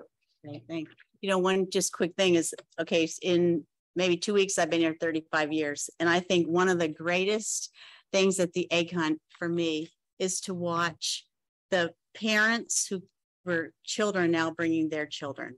And I'm actually seeing that at the pool too. And that, that to me is, you know, worth a million dollars right there. Um, so um, I guess I have a, a more different kind of fun. I have like a fun job. Yeah, that's. A department head meeting today and all that, and I was like, I'm gonna like go. You can say it. You can say it. He wants the football back. Yeah. You bring the football back? Oh, Maybe it was his kid. I don't know. I don't discriminate. I have to do, you know, like safety first. Thank. Before you go, Stephanie, I mean, you're at the top of the- your career. You've held every position there is to hold at the uh, Vermont Parks and Recreation Association. You run an outstanding program on a shoestring budget, probably one of the best values in the state of Vermont. What, what do you hope for the future? Uh, I mean, in the next ten years for the recreation department? I know it's really been run on a shoestring, so. Million dollar budget. Might have that tomorrow. Wait, today's Tuesday. Thursday morning, I might be able to tell you a lot. You know Why? You know why? Think about it. Uh-oh. You know why. Oh, yeah. Um, Sounds like a make Hefty donation Thursday morning. Tom, I might need your help with accounting on it, but, um, Ah. you know, I, I do want to see, you know, like more, um, you know, the intergenerational. I just think that's important because the demographics that I'm seeing, I'm seeing a lot of like the toddlers. But, you know, older folks too, and I think there needs to be a way to, um, bring, you know, bring them together a little bit more. Um, and get more people back into some of the resources, like, um, I've just got to get someone to help me lay down a pickleball court in the Aud, but we'll be bringing people in there daily who might not have been in there. They only come in there to vote. But now, you know, to bring people back that way. And I'm already seeing it in the pool. But we have more than just pool. We have, you know, like the, the pass, you know, transportation pass now with like e-bikes. You're going, you're seeing more. Um, I can't wait to get an e-bike. More people who, um, you know, are using e-bikes. So we're working on, you know, you know, where can they go with those? Um, I'm not really, I haven't been too involved with the river access, but I think that, you know, if anything like that comes about, that's just, you know, one more avenue. So what I see for ten years is just trying to um, pull all the community members. Okay, so we create community through people, parks and programs, and that's what we try to do. Um, just like, you know, what was downtown yesterday. Um, so that's what I hope for ten years. I hope I'm still alive. Thank you. Dr. Mayor, sorry, Sarah. Oh, sorry, Sarah. I just had a, a thought about the pool area. It'd be really, I spent a couple of and hot days over the summer with my nephew. And uh, it was really nice to have some picnic tables and maybe even a shelter uh, covering shade. Um, because the sun does hit that um, that area pretty, pretty intensely for a big portion of the day until it finds those trees. Yeah, so we have some picnic tables, but that's, you know, like another thought. Um, if we don't have funding to put up like a shelter type, what we would have funding to do is, you know, okay, I'm kind of old school. Big on Drill the hole, exact, right in the picnic table and, you know, put that nice, you know, eight foot, um, umbrella right there because, um, again, I'm seeing that too because there's very few places for shade.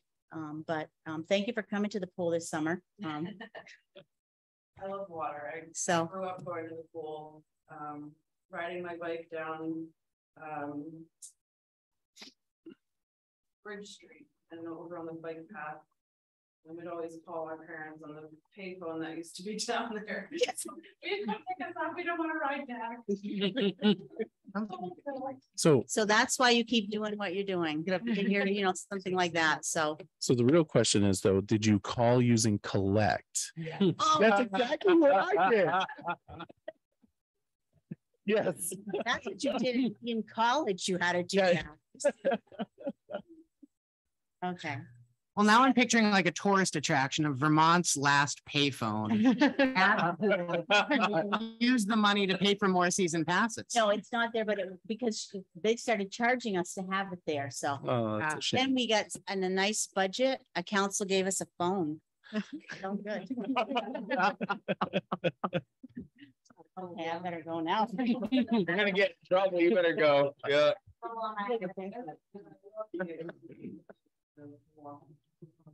Thank you. Well, thanks. That takes us to our item C under new business, which is the um related to a governance committee. I was looking at the timelines for, just to introduce this item, uh, for the city charter and uh those, those clocks are uh coming pretty quickly. And I know in the past, we've uh developed council working groups, um, but I, I thought um, based on conversations with uh manager Storellicastro and Clerk Dawes, that it, it would be worthwhile to set up a standing governance committee to look at charter issues. Um, this is something a lot of communities have around the state. It brings more process, uh, to, um, the amendment to the most important um, governing document we have. It's higher than an ordinance. It has to go to the General Assembly, it has to go to the voters. Um, and, uh, and a lot of these committees and other communities develop, um, really good reports uh, based on charges that the legislative body like councils and select boards, uh, put before them. And so, uh, this proposal would en- envisions a seven-member body, uh, to, uh, pr- prepare um, uh, recommendations for council's consideration for both the March town meeting, town meeting and the November town meeting. And so with that, any questions? Seems to be a lot more than just a committee. Um, you know, to study appointing the clerk. That's. It'd be a hard no on that. Yeah. Well, actually, what I had brought up a while ago was whether the city would, wanted to just discuss and explore the options around separating clerk and treasurer and whether a- an appointed treasurer is something Mhm. that um eh, Barre Town did it, other communities have done it. Um, now that we have a, a really robust finance department, um, whether there's, I mean, there's pros and cons. So it, it might be Mhm. something to talk about, but no, your, your clerk position must remain independently elected. So- Yeah, I would think. And then, you know, I'm not sure. Um, planning commission, DRB members, you know, if you're not a resident of the city, you can't be on the.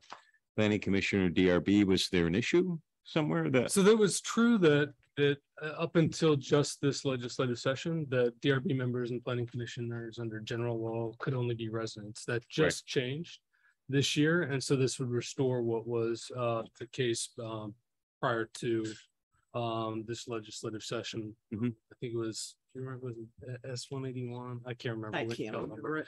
Um, so it was to restore what, um, what we had before. Mhm. Um, and, uh, and I think it's from, from my, my, well, I think we could have different views on whether or not that's a pro or con. The idea with this committee, same thing with clerk, appointing clerk treasurer. I also lean to an elected clerk.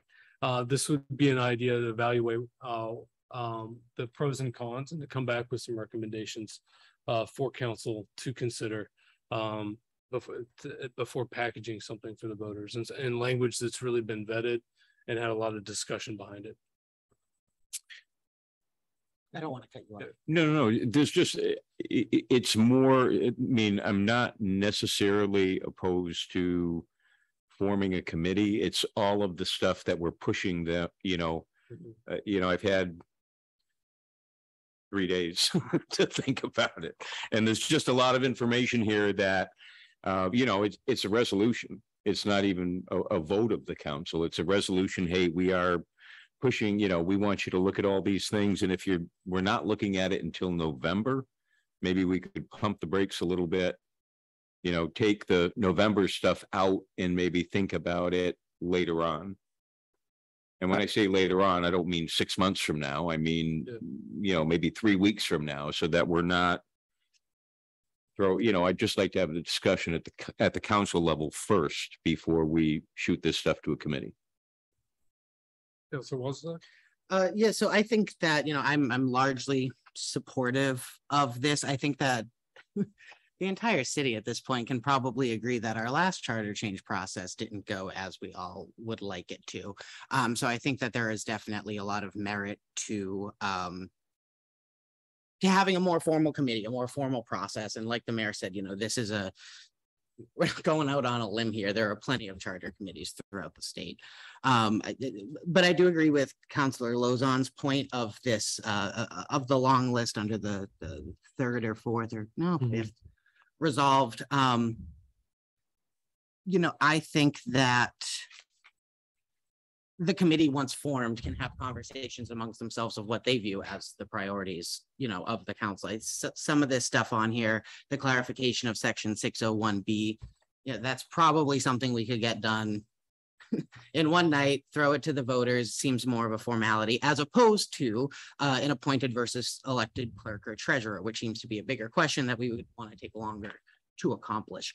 Um, so my first question is whether the, um, both the city manager and the clerk are in favor of um, forget the substance for a second of what's written, but the concept of a charter committee as opposed to the, you know, frankly, Carol's ad hoc group that she's always commandeered as we're heading up to election season.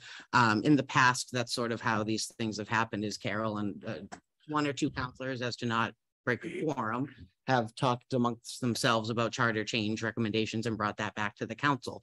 Um, and while I think that for some of the small technical changes that we've seen when we got rid of the city plumber, for example, that has worked perfectly fine, but having uh, larger conversations about, um, you know, the, the non-residents on public bodies, the elected uh, versus appointed clerk and treasurer, separating the two. Um, I, I can see how that would require a longer conversation, more study, more uh, people who know answers to those very complicated questions. Um, so yeah, Yeah, I, I, um, the, the concept, the composition of the body, um, I was supportive of. I, I think uh, I defer obviously the content of what this committee looks to, to, to the council. Um, I mean, I think one thing to caution, right, is, is, um, for example, um, you know, does the, does the body sort of preempt the council from taking an action the council may be leaning towards? Like, that's something for you all to decide Mhm. right? Um, so just to just pick in one, the the representation of committees, right? Like a, a body could come back, a committee could come back and say there is no challenge with it, and maybe that's not a direction the council chooses to take. So then you're going again. So that's just Mhm. that's just something for you all to determine. But um, so I'm not weighing in on the content of the the, the matter, but the composition is is I was consulted. I'm I'm I'm comfortable with it. Yeah. And, just to, to give you a, a little history, um, we did have a citizen charter review committee 10, 12 years ago. Um, we worked on a, a significant, uh, I mean, page by page, section by section review of the charter um, and came up with uh, quite a substantial uh, charter for the voters and got voted down. Part of the reason that it gets voted that it got voted down is that if you're doing substantial changes that are voluminous, you um, that are too long to print them all on the ballot. Um, you have to do them as one yes no question, the entire thing. Um, and that becomes a, a really hard sell. Um, you have to then print copies of the charter change. Uh, you have to, you know, publish it. You have to send it out with absentee ballots. You have to post it in the voting booths. You have to, and, and the, you know, if there's one small section that voters are uncomfortable with, then the whole thing goes down. And so since then, um, it, it's been more of our practice to, you know, pick three or four things that um, that are uh, that are something uh, topics that are that are under discussion uh, so that we can put them as individual items on the ballot um, and it, i'm not saying that you can't do something more substantial and more holistic but i just want to let everybody know that's what the process is for doing um, larger sort of bulk changes. Um, some of the items that are that are proposed on the resolution, I I think are worth exploring. Some of them don't. If I were on the committee, I don't think they're they're they rise to the level of needing exploring at this stage of the game. But but that's personal opinion. So. That's a boot. Yeah, so I'm actually against this, and I think we've done a pretty damn good job at, uh, excuse my language, um, at at doing our charter changes since I've been on city council. Um, you know, I I look at this resolution and I'm I'm a little annoyed by it. I'm not going to lie.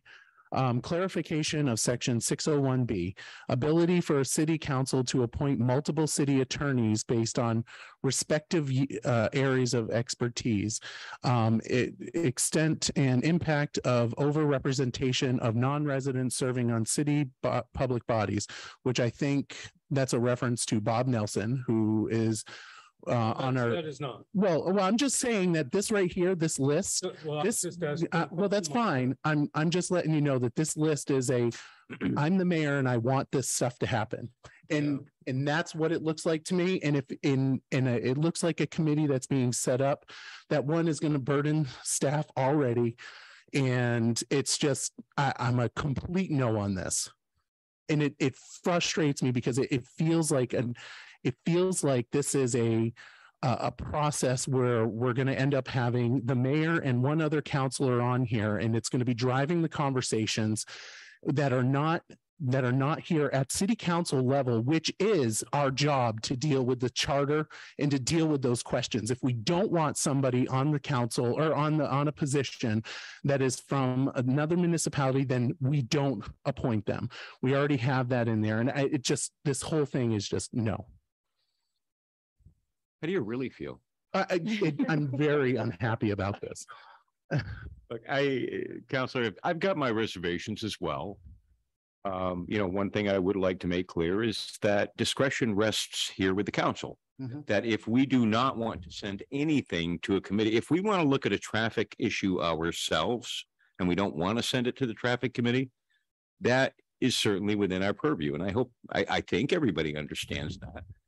That the committees are there and we appreciate the service of the members, but they're there to assist the council. And if the council feels that they want to keep the discussion here uh, in the council chambers, then we certainly have discretion to do that. You know, 601B, I mean, I think that's one of the issues I was actually going to uh, bring that before the council in a couple of weeks and try to clean up that language because I, personally, I think we're in violation of the charter right now. And I think that is something that needs to be cleaned up. Um, you know, so as long as we understand that uh, some issues remain with the council, I'm okay. I'll try it. Excuse me. Yeah, uh, Counselor Stockwell. I see it as an opportunity to have a group that could do a little more depth and do a little study and inform the council with some background information and some recommendations, which, as Councilor Lauzon was pointing out, we can take or not. We can say, this doesn't agree with us, but it seems to me it would be potentially quite useful to have people who are a standing committee that can methodically go through these issues and do some background research. So I guess one of my biggest concerns in, in kind of reading over this document seems to be a lot of the things are more things that you, Mr. Mayor, brought up personally um, with attorney uh, and some other things. I support a lot of the stuff that's in this document, but as a whole, I really don't support it. Um, I, I honestly feel that uh, it's just there's some things in here that are quite inappropriate like the extent and impact of overrepresentation by non-residents serving on city public bodies. I think that it's important to have representation and who's to state what an overrepresentation is. At that point, it would be the mayor who would be the de facto in this particular resolution and a council liaison and then community or seven members. I'm not okay with supporting this as written. Uh, I would say you could, there, there's opportunities to both split the questions of, is it, you know, is it good? Is it, is there merit in having a committee? And then also, what are the areas of inquiry? Some of these areas of inquiry I put on this list, not because I feel strongly about them, but because other people have mentioned them. Um, we have committees where we have only one city resident, for instance, on board, sometimes that are driving, uh, cost centers. Uh, where the city ends up paying uh, the bill, and it's mostly uh, uh, some of that can be largely influenced by out of town residents. That's an area of inquiry that something like this could look in. For instance, you know, I, well, there are other other elements that uh, on this list that I don't feel that strongly about, but have been mentioned to me as areas of the charter that um, could could get a look at. And it's not saying that there should be a particular outcome. It's saying that they sh- people should look at these questions um, take the time to look at what's in the charter, what are alternatives, um, options, um, what's potential language, and uh, and then bring it back to the council to make a decision so that there's uh, question by question. Do you want to do this? Do you want to do this? Do you want to do this?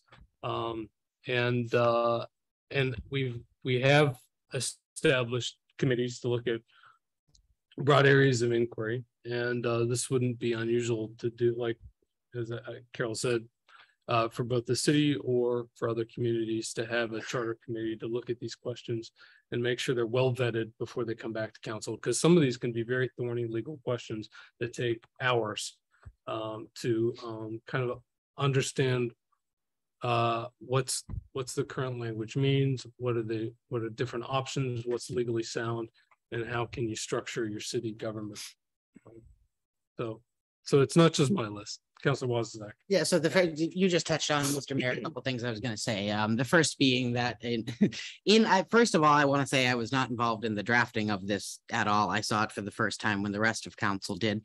Um, but there are things on here which I have mentioned to the mayor in the past or other people, just when I'm talking about the city government, because as a counselor, I get a lot of questions about it. Um, so I think that another thing that's important to remember is that the mayor is the only member of this body besides our esteemed clerk and treasurer uh, that is elected by the uh, citywide as opposed to ward by ward. And I believe personally uh, that that enables the mayor uh, to set forward a vision of what uh, they believe that the, the city should head in, whether that be ordinance, charter, policy, or budget. Um, so my point is, I believe the mayor. And even if this was a, a, list of things that the mayor wanted to accomplish, uh, you, know, well, frankly, that's the mayor's prerogative. And there's six other counselors on this dais, so that if we think that the mayor is wrong about something, we can push back and outvote the mayor. Uh, and I'm sure that that's what this council would do if a charter change came back from this committee. Um, uh, as Councillor Lauzon pointed out earlier, just like with every other one of our city committees, uh, with rare exception, th- they are not final decision makers. The council is, and that remains true, even if the committee sent back a report that uh, asked the council to do all of these things. We're under no obligation to do that. But it may allow for, as Councillor Stockwell mentioned, some of these much more uh, complicated legal questions or complicated policy decisions to be more vetted by um, to be vetted longer and by a broader body than just the council. And, you know, I was, uh, I'm also not uh, thrilled about the idea of, um, you know, a volunteer committee with whose members could have any kind of expertise uh, weighing in on what should or should not be the charter. But sometimes it's really good to have an outside pair of eyes looking at things. And I know that I, as a counselor, when we're talking about whether it's charter policy or ordinance, um, I get very in the weeds very quickly. I remember, well, we made this decision three years ago because of this conversation that happened and this data point that we had at the time, and things change. Um, so I think that it's important that the council retain that authority as the final decision maker. Uh, and I think that there's nothing in this resolution that would prevent that. So I would like to amend um, the resolution to strike all of the bullet points um, in the fifth and sixth. Um, be it further resolved, get rid of all those bullet points and have the first be it further resolved read, the committee will prepare a report for the twenty twenty, March twenty twenty-three town meeting, including recommended date, language, or preferred alternatives, period. And have the second be it further resolved, read the same thing, only November twenty twenty-three. So what I am saying is remove all the specifics and just ask this committee to come back with a recommendation for March of twenty twenty-three and November of twenty twenty-three. And I think that that's something that could easily uh continue. Just we know moving forward that before March and before November elections, we're going to get a report at some point every year about what this uh committee may do. Uh, so that is my motion. And we have a couple of hands. There's a motion. Is there a second? I'm gonna second it for the point of discussion and to be just polite generally, because that's who I am. There's a second, uh, Council Boutin. Yeah, so I would love to see on here for um shall appoint residents and registered voters. I I think that you know, one of the problems that we have with our our committees is that we have multiple people serving on multiple committees.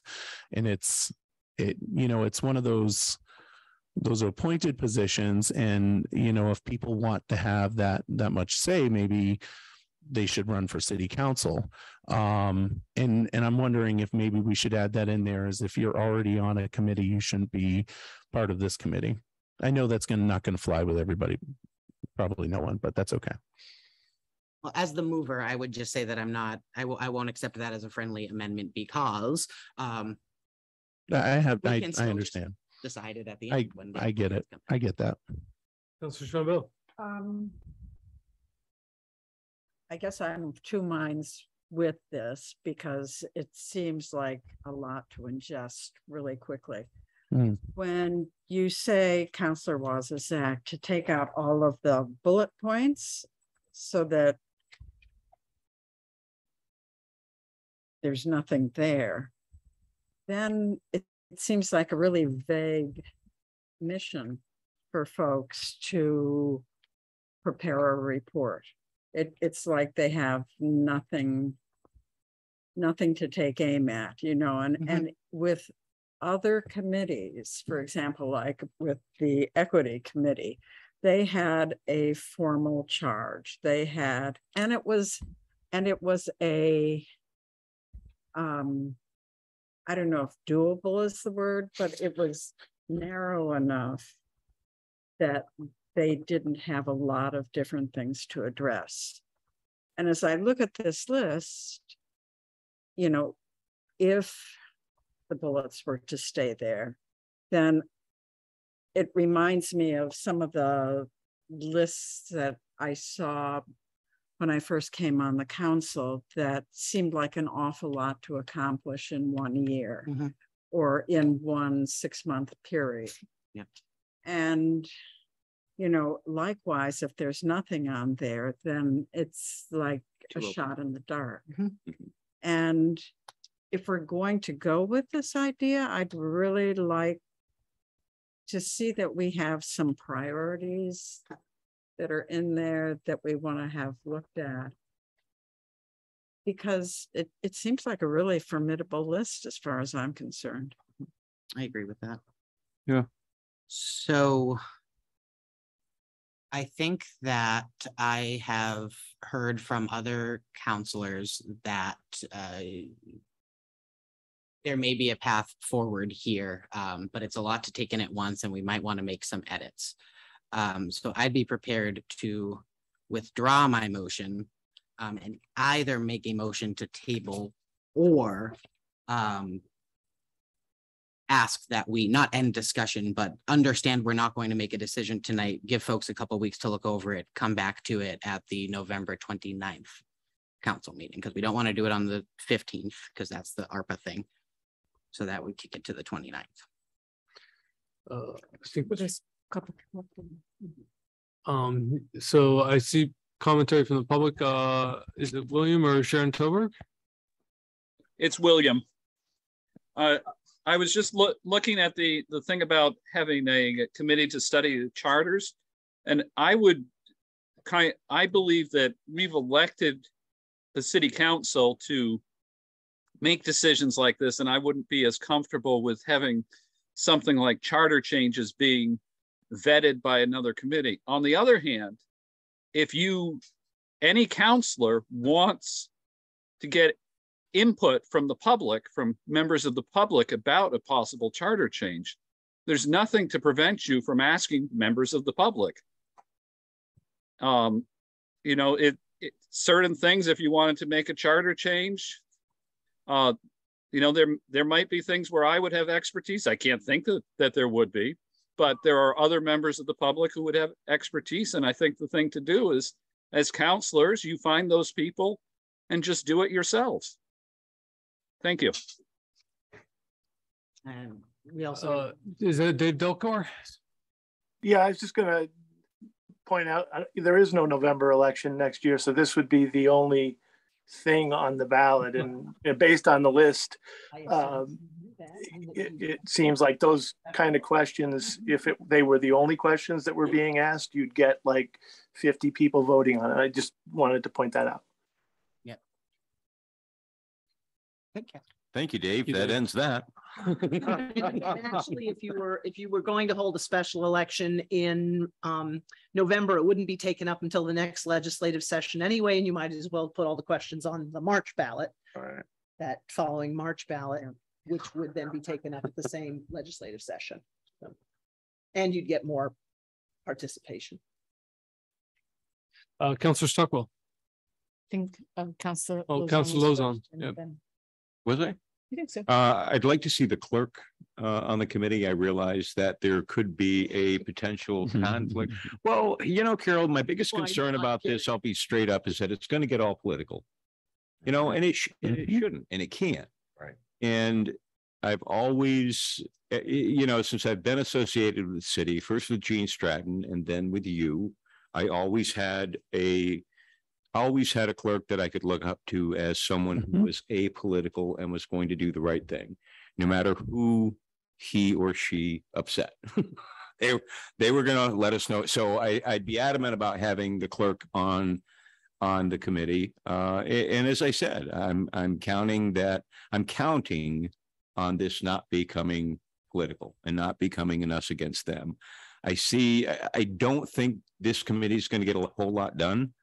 So, all right, let's say we vote tonight, we're gonna do the committee. All right, thirty days to apply, fair enough. You know, so we give people thirty days to apply. That puts us on December. Now the council is in the middle of budget season and we've got to interview, I don't know, maybe six apply, maybe sixty apply. Now we've got, some- I, so my biggest concern, I don't think we're gonna be able to do it for March because Carol, we gotta have these warned by We would have to warn the first public hearing by the end of December, um, but you don't have to have, um, language until that public hearing. So that means you have language around the end of January.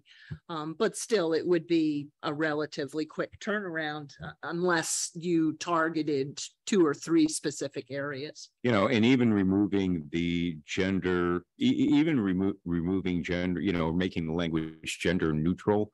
As Carol pointed out, I felt really bad because Carol got crushed when, when, when she did that. We had so many, we were cleaning up the charter. There was nothing wild about it. It was all mundane stuff. A lot of it was grammatical. And Carol put so much work into it. And because it was just so damn long, people said they didn't, they just didn't want to read it and they said, I'm voting no. Because I don't trust them.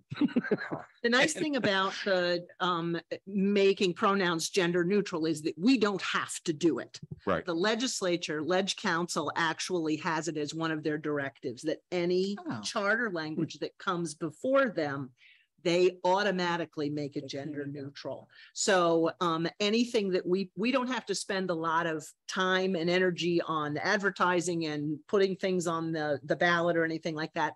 Any section we put forward um, that includes uh, pronouns will be neutralized um, by the by ledge council um, at the state house. It- it's it's not holistic. They're not going to do the whole charter um, without us presenting it as a as a charter change. But certainly every section we put forward, they will be making those changes over time. So, you know, I, I would be comfortable, I, I, with apologies, Mayor, I'd, I'd gut your resolution. I'd have one paragraph saying, okay, we're going to establish a committee with, uh, I think there were a total of seven members. So there would be the clerk, the mayor, and five other members, uh, five other citizens at large. And, um, let's see who applies and what it looks like. And if it looks like it's just going to be one big political thing, I'm not voting for it and not voting for any appointments. So, So I, know, I won't take that as a friendly amendment, but I will withdraw my motion so that if you felt like making. Yeah, so I'm fine with doing that if everyone else is just literally, I, I don't know that we do it in resolution form, but I don't think we need to rewarn it because it's been, it, it- it's on the agenda. But, you know, again, I don't even know, what if no one is interested in serving? Um, what if only people from Barre Town are interested in serving? Wouldn't that be something? So Councilor Stockwell, there's a I, motion. I do think that the residents, that having residency in Barre City should be an important component, certainly a majority of most, if not all committees. But the other thing I would say is that maybe it should just be limited to review of ordinances and charter. So that it's both broader and simpler. So Councilor Lauzon, you have a motion to, Um, yeah, yeah, I'm gonna just move to, to establish the committee and we'll learn the rest. We may not give them any charge before January. We may not have time. So the council can, we can establish the committee. We can advertise the committee, see if anyone is interested. And that will give, I mean, we're forty-five days away from seating this committee under the best of circumstances. So that will give us time to figure out what the charge of the committee is, something we all agree on, and what their initial tasks uh, as assigned by the council are going to be. so to establish a committee with five members, the clerk, and the- or seven members, clerk and the mayor. And, uh, and then to, uh, follow the appointments policy to, to, to get it established with no residency requirement.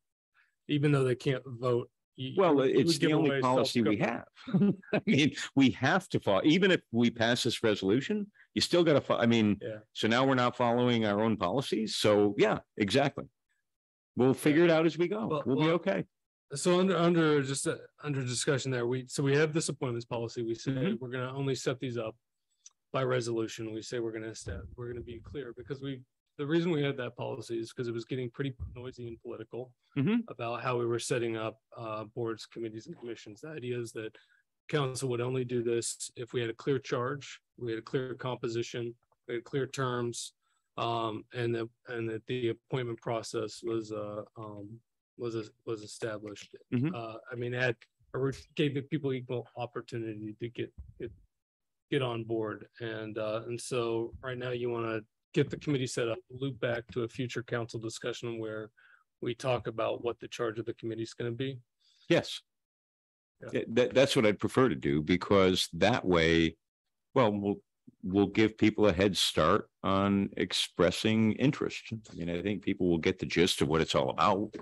So there's a motion. Is there a second? I'll second it. Thank So- you. Oh, Councilor sorry. Boutin. Yeah, so I don't think this is ready for prime time in general. I mean, we've had three days to look at it and uh, you know, I, I would agree with Councilor Waszazak with tabling it for now. Um, so there's no, uh, so table the new motion. Um, I would, I, and I'd. I would make it, with- yeah, that's fine. I'll, I- I'd agree with you. This, this, this, uh, I don't think there's enough consensus around this item to move forward. And, uh, we're. gonna do Withdrawn. Committee reset. Withdrawn.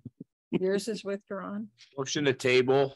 second, So it's already withdrawn, so there's no. Yep, motion to table. There's no, you can't table. you- you can, no, but you can table a discussion on an issue. Second, There's a motion, uh, can you table a discussion? No, you can actually, Okay. you can only table. Can, you you can, can- uh, move to. I know that answer. debate. You can table a motion only. okay, And Sorry. it That's is, fine. and there's no debate on if you, if you make a motion, if you make a motion to table. A motion that has been made and seconded, there is no debate. You have to vote the motion to table immediately. And then it sits around until someone says, take it, off, you know, put it back on the table. So there's nothing for us to do anymore. Because the motion was withdrawn. So what, what we do know is that we're gonna be looking at a committee reset and uh, that the manager has been evaluating different um, uh, boards, committees, commissions. Um, to, and thinking about what's working, what's not working, gonna come back for uh, with some potential recommendations to council. Um, it doesn't have to include a, a governance committee if that's not what it, or a charter committee if that's not what the council wants to do. Um, and, uh, and then I guess we can take up that item at that time. Councilor Boutin. yeah, so I just want to point out the two committees that have the majority of people that are not in the city are the Civic Center and the cemetery committees, is that correct? I believe the cemetery committee is the one that you were referring to, which only has one person. Is that correct? I don't- don't know, I'm not that Um, intimately familiar with the makeup of the No. committees, sorry. that's okay. I, I took a quick look. I think that's it. All right, so if we're done with that item, then Nope, that- Nope, I'm confused. So what are we doing? we're doing Nothing. nothing. Nothing. At all? Yep, nothing. Let it go. Seem to be doing a lot. Go. Does that mean nothing even moving forward in subsequent meetings? Potentially, yeah. Well, Any councilor could request an item put on the agenda in a future Mm-hmm. meeting. Right. Okay, or it could come back as part of the committee reset that Okay. All right, so that takes us to roundtable. Um. Councilor Waszazak? Uh, everyone get out and vote next Tuesday as this is, I normally don't tell people how to vote, but this is my last opportunity before town meeting day. So I strongly encourage you to vote yes on Prop two and Prop five. Um, and in case anyone cares, you can check out my endorsements and you should vote for the people that I've endorsed because I think they're cool. But regardless, you should get out and vote. It's incredibly important. Uh, and there's a lot of important races and issues on the ballot this year. I'll pass. Councilor Stockwell? A resident down the street from me had some water coming into their basement, which was new, and and their next door neighbor also, which they take care of, had water coming into their basement. And you know, within hours, the city manager was there. Bill Ahern from came to visit with them. So I just feel like an excellent handling. I mean, they are, you know, they were what do you do? There's water coming into your cellar. You can't see it. You know, where is it coming from? And I just thought it was an excellent response from on behalf of the city employees. Councilor Lauzon. Uh, thank you. Well, once again, uh, Tracy and her volunteers did a wonderful job uh, with the uh, Halloween celebration in our downtown. Like I said, that incident was unfortunate and I, I know it bothers Tracy and all the volunteers terribly, and I hope they don't take it too much to heart. Uh, with regard to the vote, I just want to thank all of the candidates, all of them, whoever they are. Um, you know, it takes a lot to put yourself out there and spend the entire summer, uh, you know, campaigning away from your family, away from your friends, missing all the fun stuff. So regardless of whether they're successful or not, I appreciate the fact that they ran and gave people options. I'm all set. Councilor Lauzon, Councilor Deering. Uh, get out and vote. Um, really make sure you get out and vote. I don't normally get on the soapbox about political things on council, but vote no for Proposition uh, Five, Article twenty-two. Um, it's too vague. It doesn't have enough direct language, and uh, the word woman or abortion aren't even in it. Um, so to me, um, that's my my vote as as a person, and and that's my roundtable. Thank you. Councilor Shambo. I echo the sentiment to please vote. I won't say how. I have a clear idea as to how I think it should be done, but that's not my call for anybody else. Still, um, there's a lot at stake. And I think there's a lot of thought that people really need to put into this and think about what the possibilities of the future or lack of the future could be. Boutin. Yep. So I would agree with everybody. Obviously, get out there and vote. Um, it's our civic duty, and it's our it's a privilege that we have in the United States to do that. Not all countries have that blessing.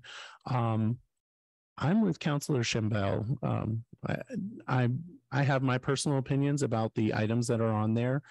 Um, most people know them. I do not like discussing issues like that at city council chambers, as everybody knows. Um, but the most important thing is, is that you get out there and make your opinions known. Like Councillor Shambell, I know what I'm voting for or against or whatever. and uh, I, I appreciate your sentiment on that, by the way. Yeah. And with that, I will pass. Thank you, Councilor Boutin. Canceled out. Yes. Well, that's what I was, that's what I was saying. That's the reason why I think it, that's, that's good. We're a great balance. I would say it was a very memorable Halloween in Barre City. I really enjoyed handing out candy last night. Uh, I think we went through about uh, 500 pieces um, on the front porch and uh, saw so many costumes. My favorite was a duck-billed platypus. Um, but also uh, I appreciate uh, a penguin that I saw from a nearby resident. Um, and I would remind everybody that Veterans Day is coming up on the 11th, and there'll be this Amer- ceremony um, organized by the Veterans Council. I also wanted to congratulate. I should have done it earlier, but um, I saw the Wabi Jewelers going to be celebrating their 50th year in business. That's huge, no small feat. Wow. And uh, so, great congratulations for them to be an anchor of downtown, um, and uh, and really a Barre institution. So that's exciting. Eh, Last, uh, I echo everybody else. Encourage encourage everybody to to get out and vote. Um, I think we. I hope we have record turnout this year. So, and with that, I'll pass. Um, that takes us. Uh, To, uh, manager, you don't need an executive session, do you? Nope. Motion to adjourn. Second. There's a motion to adjourn by Council Boutin, a second by Councilor Waszazak at, oh, it's nine, nine, uh. Twelve. Twelve, yeah. All those in favor say aye. Aye. All those opposed, the ayes have it. Good night, good night online.